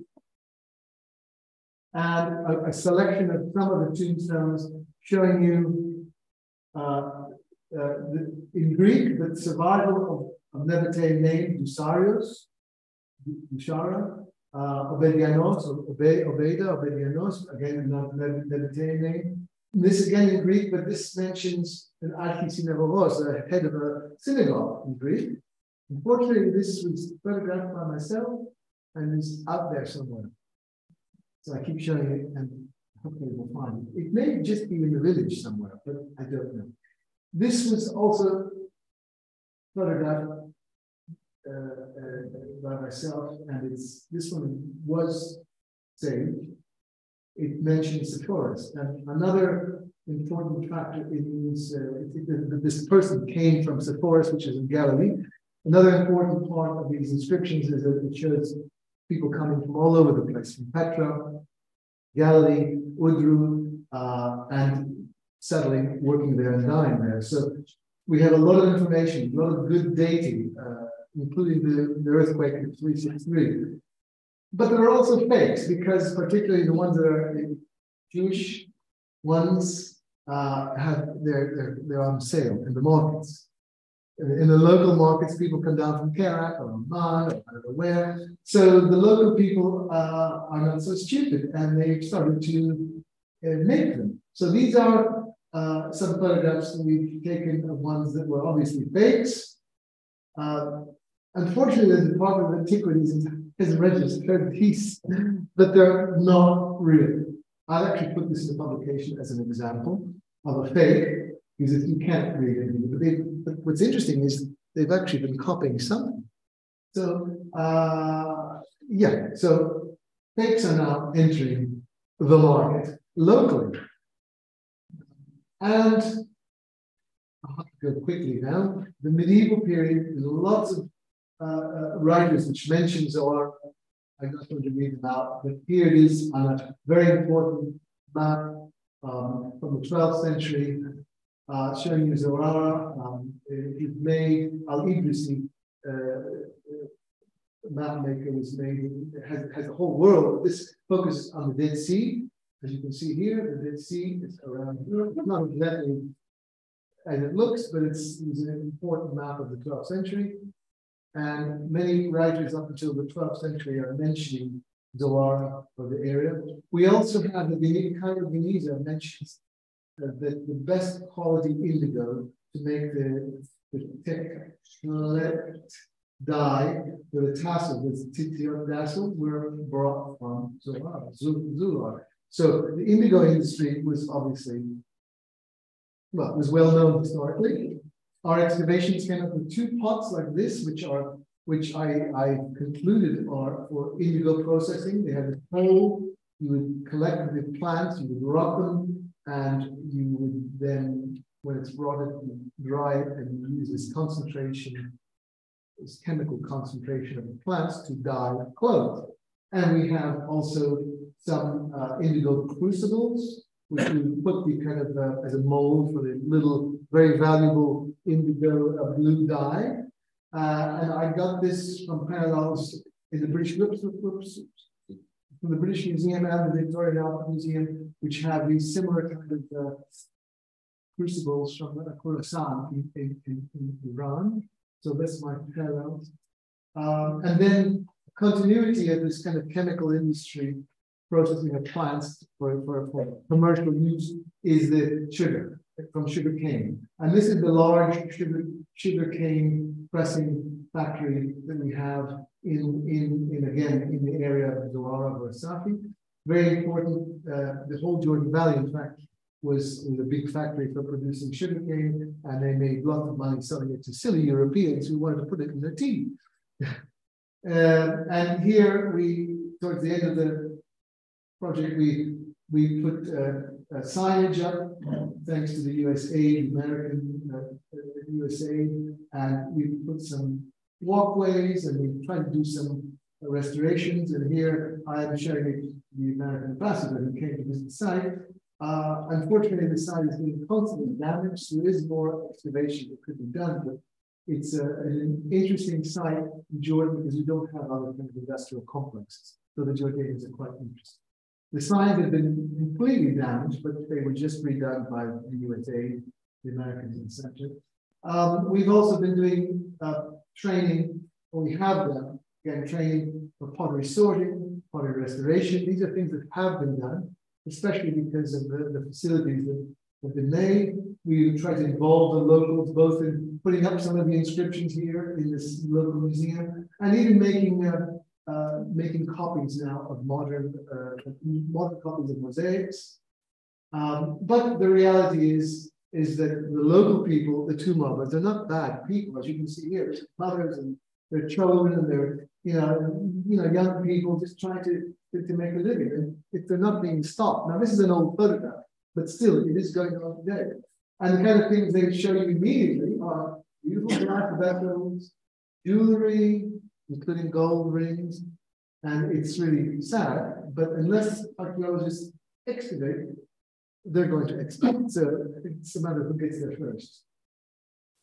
And of course, now this is again old, it's about 15 years old, but they're advertised. These pottery are definitely coming, they're very identifiable. These cups are coming from Ghor as-Safi, this is from Bab edh-Dhra, it's Bronze Age, and they they look how they market them biblically.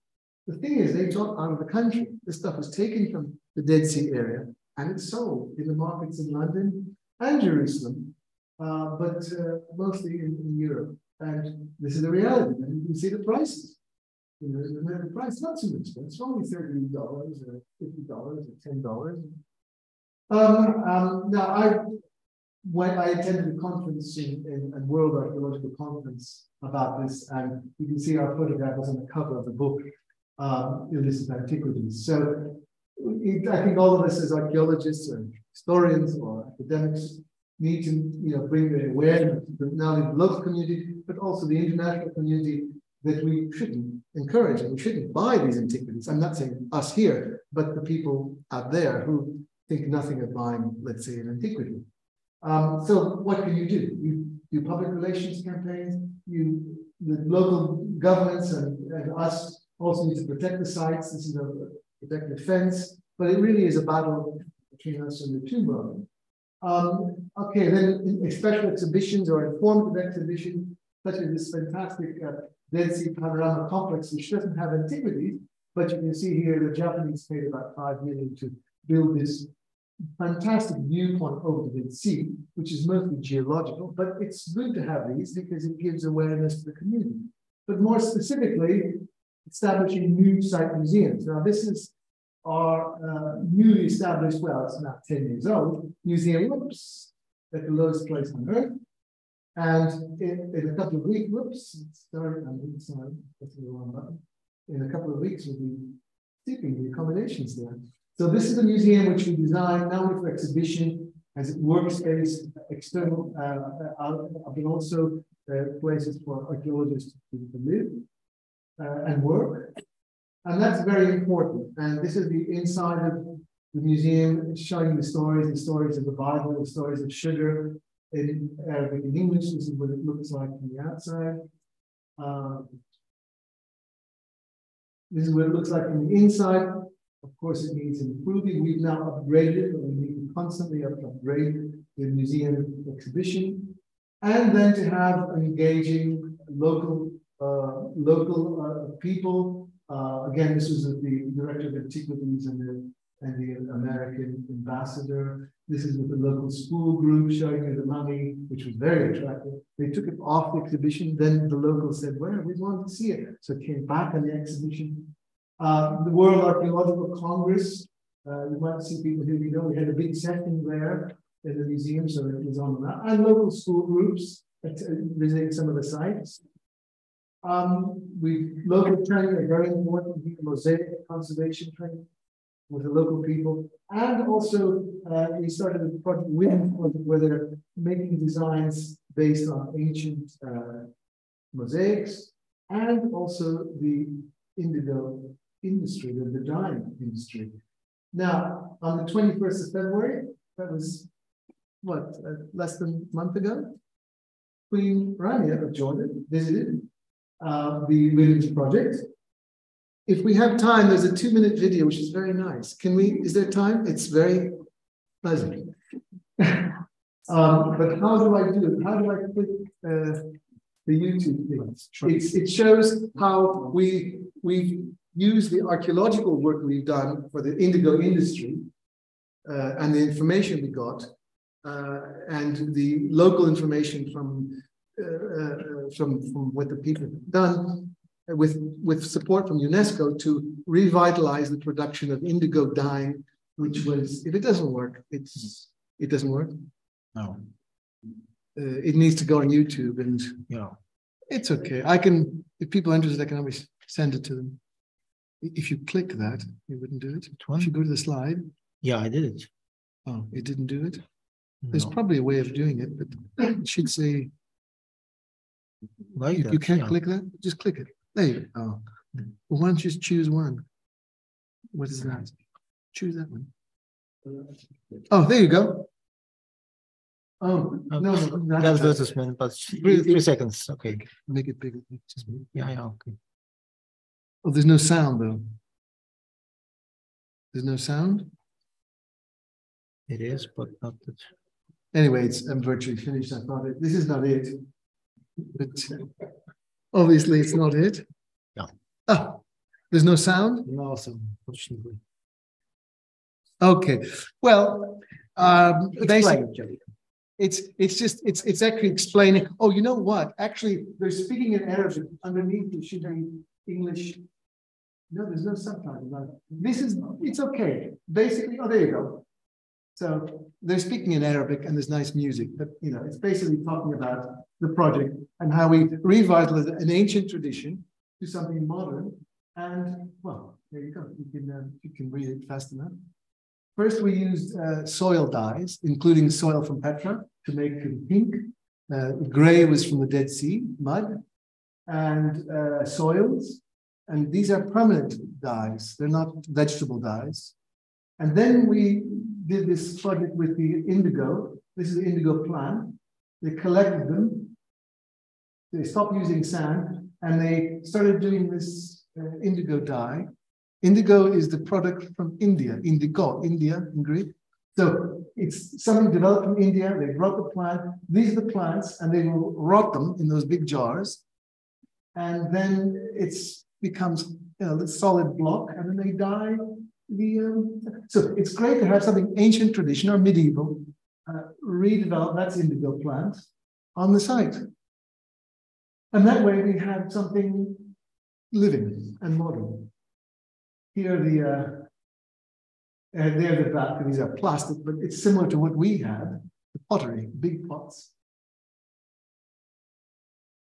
And they're using their skills in, there you go, that's the indigo, and that's the petra soils. And we trained them, and they're doing it all by themselves now. And it's so successful that, as you saw, even Queen uh, Rania went. And they sell these. Some of these designs are based on mosaics, some of them are. Of course, UNESCO helped them organize their management and all this kind of stuff. This is the head of the project. And uh, all right. And there's the uh, rotting. There it is. That, that's the that's the dye. So like they do it on cotton, most African cotton it dyes. And other colors.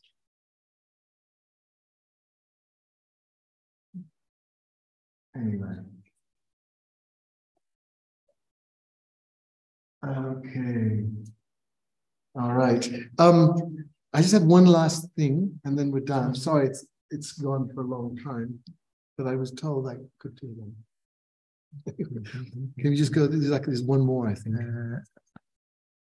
So just go out, maybe. Oh, there, yeah.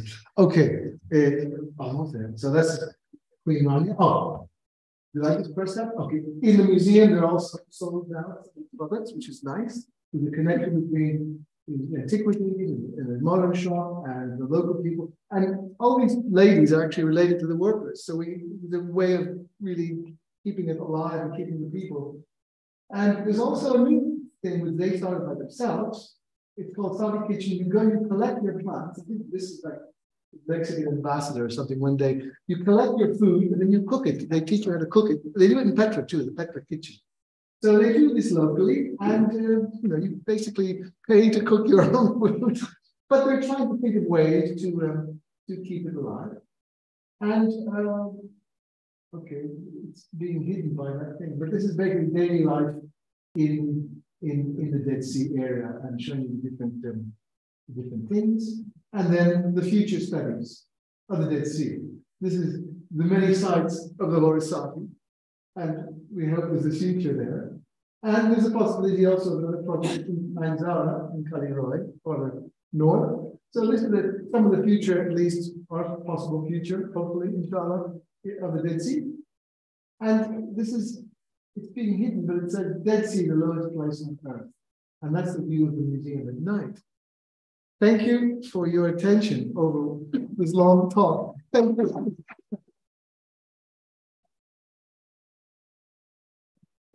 Thank you, Tina, for the theory of uh, archaeology of Jordan, specifically the area of uh, Zohar. But uh, thank you for this uh, past, future, and the reality, uh, which has different phases. Uh, one connected with the engagement with local people, another was the other kind of engagement, and it was uh, robbery. But uh, still, this reality. And thank you for that. You have a question. You have the uh, to the last question. Uh, do not hesitate ask them first. Uh, we have the opportunity to ask. I'm more than happy. I mean, it's a lot of material. I have two questions. One uh, concerning this uh, zone, uh, the tombs, tucked tombs, and you made it uh, Arkansas bread. Well, Why I, I don't, uh, what do you think? I mean, maybe it's, uh, you don't agree with that? I know that they are always with the arch. I see. Well, because it's goes to, no, they're not arch, but it kind of goes to the, goes to the right. If, if you think, I mean, I'm, uh, if you know more than I do, I'm happy to correct it. This is not published yet, but well, I actually did put it in the publication, but it's not final. But if you think that's wrong, oh, because of arco means arch, is that what it is? Think about it. I gave it that name, I mentioned that name, but if it's incorrect, I'm very happy to take your uh, advice. But I was trying to describe how you this, this type of tomb which goes slightly to the um, to the right. So arcosolia, you think is not the right term? I'm not a Latin Roman archaeologist, but would you say that's not the right term? Okay, thank you. Another question. This church, also in Qazone, uh, why should it be a church? It could be a synagogue. Well, there, the eighth is the only indication, uh, and the mosaic. yeah, yeah, oh, yeah. The, the, the mosaics. There's there's lots of cross. There's crosses. There's a number of crosses. I didn't show you the all the and and the inscriptions are. There's a number of inscriptions in Greek. I think it's quite clearly a church. Okay. It's not. Uh, yeah, it's quite clearly a church. I mean, there's number of crosses there, and it's it's not just that one apse. There are there are two side aisles which also have inscriptions, and they basically mention the benefactor. It's actually published in the in the uh, the um, the current Zohar two volume. So it's actually, you see all the inscriptions are actually also published and they're all, I mean, Greek Christian inscriptions. Is it the date in the inscription? There is no date in that one. No, there's no date. Well, there might have been a date in the front, but the bulldozer took it out. But it's, it's, it's, I, I think that's, that I will probably insist it's a church. Thank Some more questions. Or comments or corrections. Yeah. Okay. Thank you for the most inspiring lecture as usual. And just a quick question, you mentioned a connection between the salt of the sea and Petra. Could you Well, tell us the- a little bit more about that? Well, I was walking about fifteen years ago, I took the photograph, there were bags of salt. And I actually asked some of the Bedouins, said, yeah, they get that from the Dead Sea and they give it to the animals to eat. They put, or they put it in the food for the animals, for the, for the, for the, So for the horse, donkeys, horses, a camel. So they actually feed it to the animals. That's what they said, but there were bags of salt. No, they, I, that's, that's what they said. And there's no salt up in Petra, not bags. So they bring it up. They also bring other things like antiquities to Petra. You can, you can see them, the the stuff that you can see are coming from there.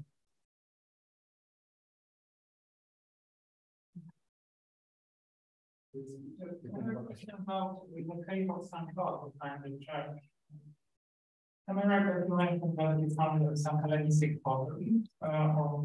is there any indication that the cave was used before the Christian church? Yes, but I had so much material here. I couldn't.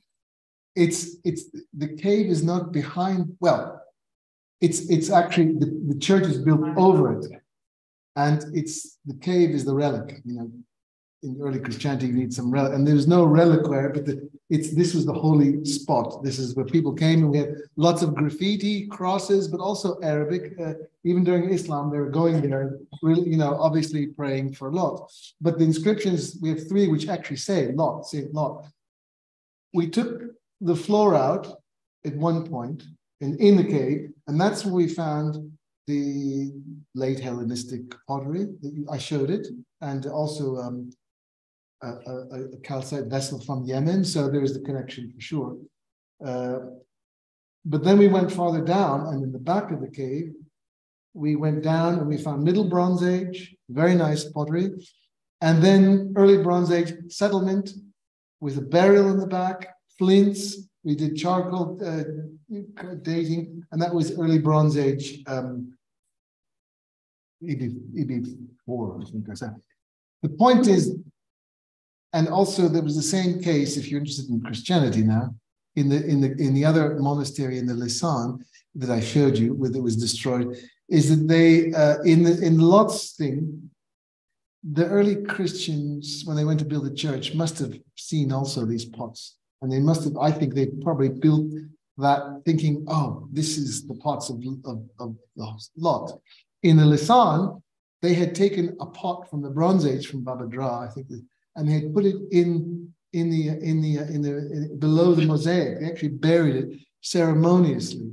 So it's interesting that they are conscious of something before them. We look at early Christianity as archaeology, but then they are also looking back, and they use this the early Bronze Age to justify uh, this is the Old Testament sites. I, I think it's fascinating. I put those in the museum, by the way. They're in the pots are in the museum, and I mentioned this. So it's fascinating that the early Christians were looking farther back. And yeah, so there's lots in the cave, and actually there's more because we didn't take everything out.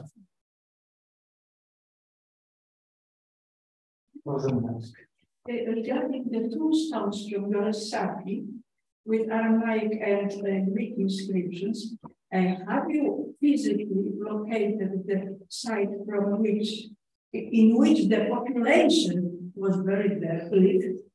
I mean. Well, it's the it, the, the they are, they are so Aramaic, but is it physically located? Yeah, the tombs are all there. They're robbed out, mostly robbed out, unfortunately.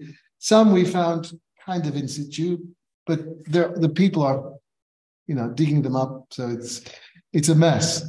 But they are definitely from there, and the dates are perfectly dated to the same period. So the pottery and the other finds are exactly the, the, the right date. I do, but I- You I- mean the- We need the settlement from which those people came. Well, it's yes, because we have at this point two churches. There's probably at least another couple of churches from the sixth, from the fifth, sixth century, and the same date as the inscriptions. And some of the mosaics do have a date of the same period. So the settlement is there. The only problem with that settlement is that you have the later Islamic period is also settling in the same area. So it's a bit of a mix. But the mosaics from, from the churches have the same date as the tombstones. But they also had a Jewish quarter.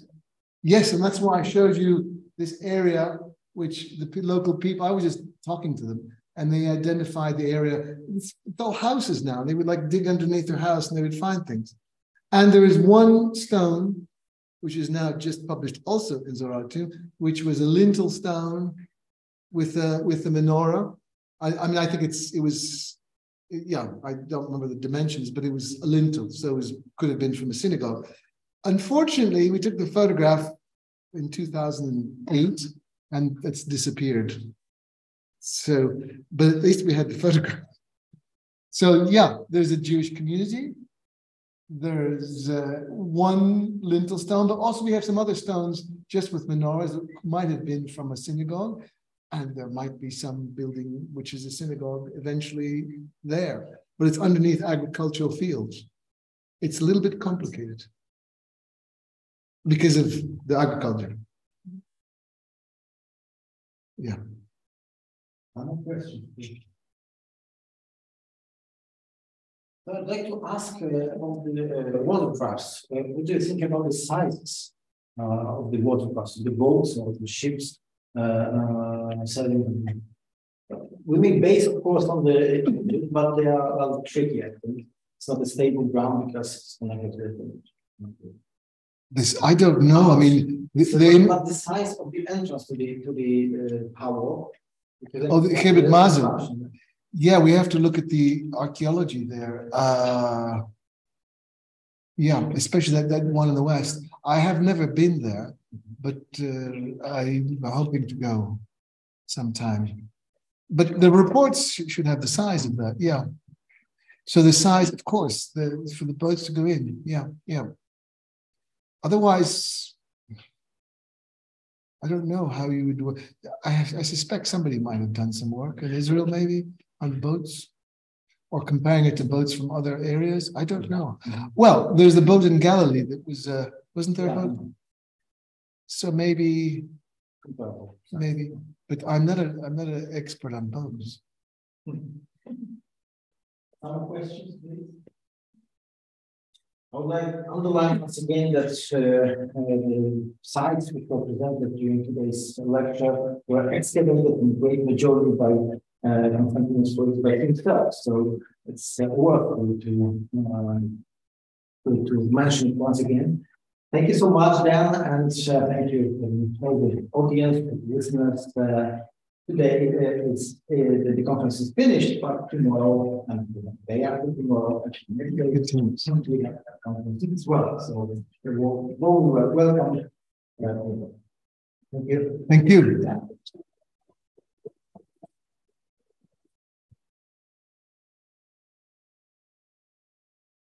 Okay.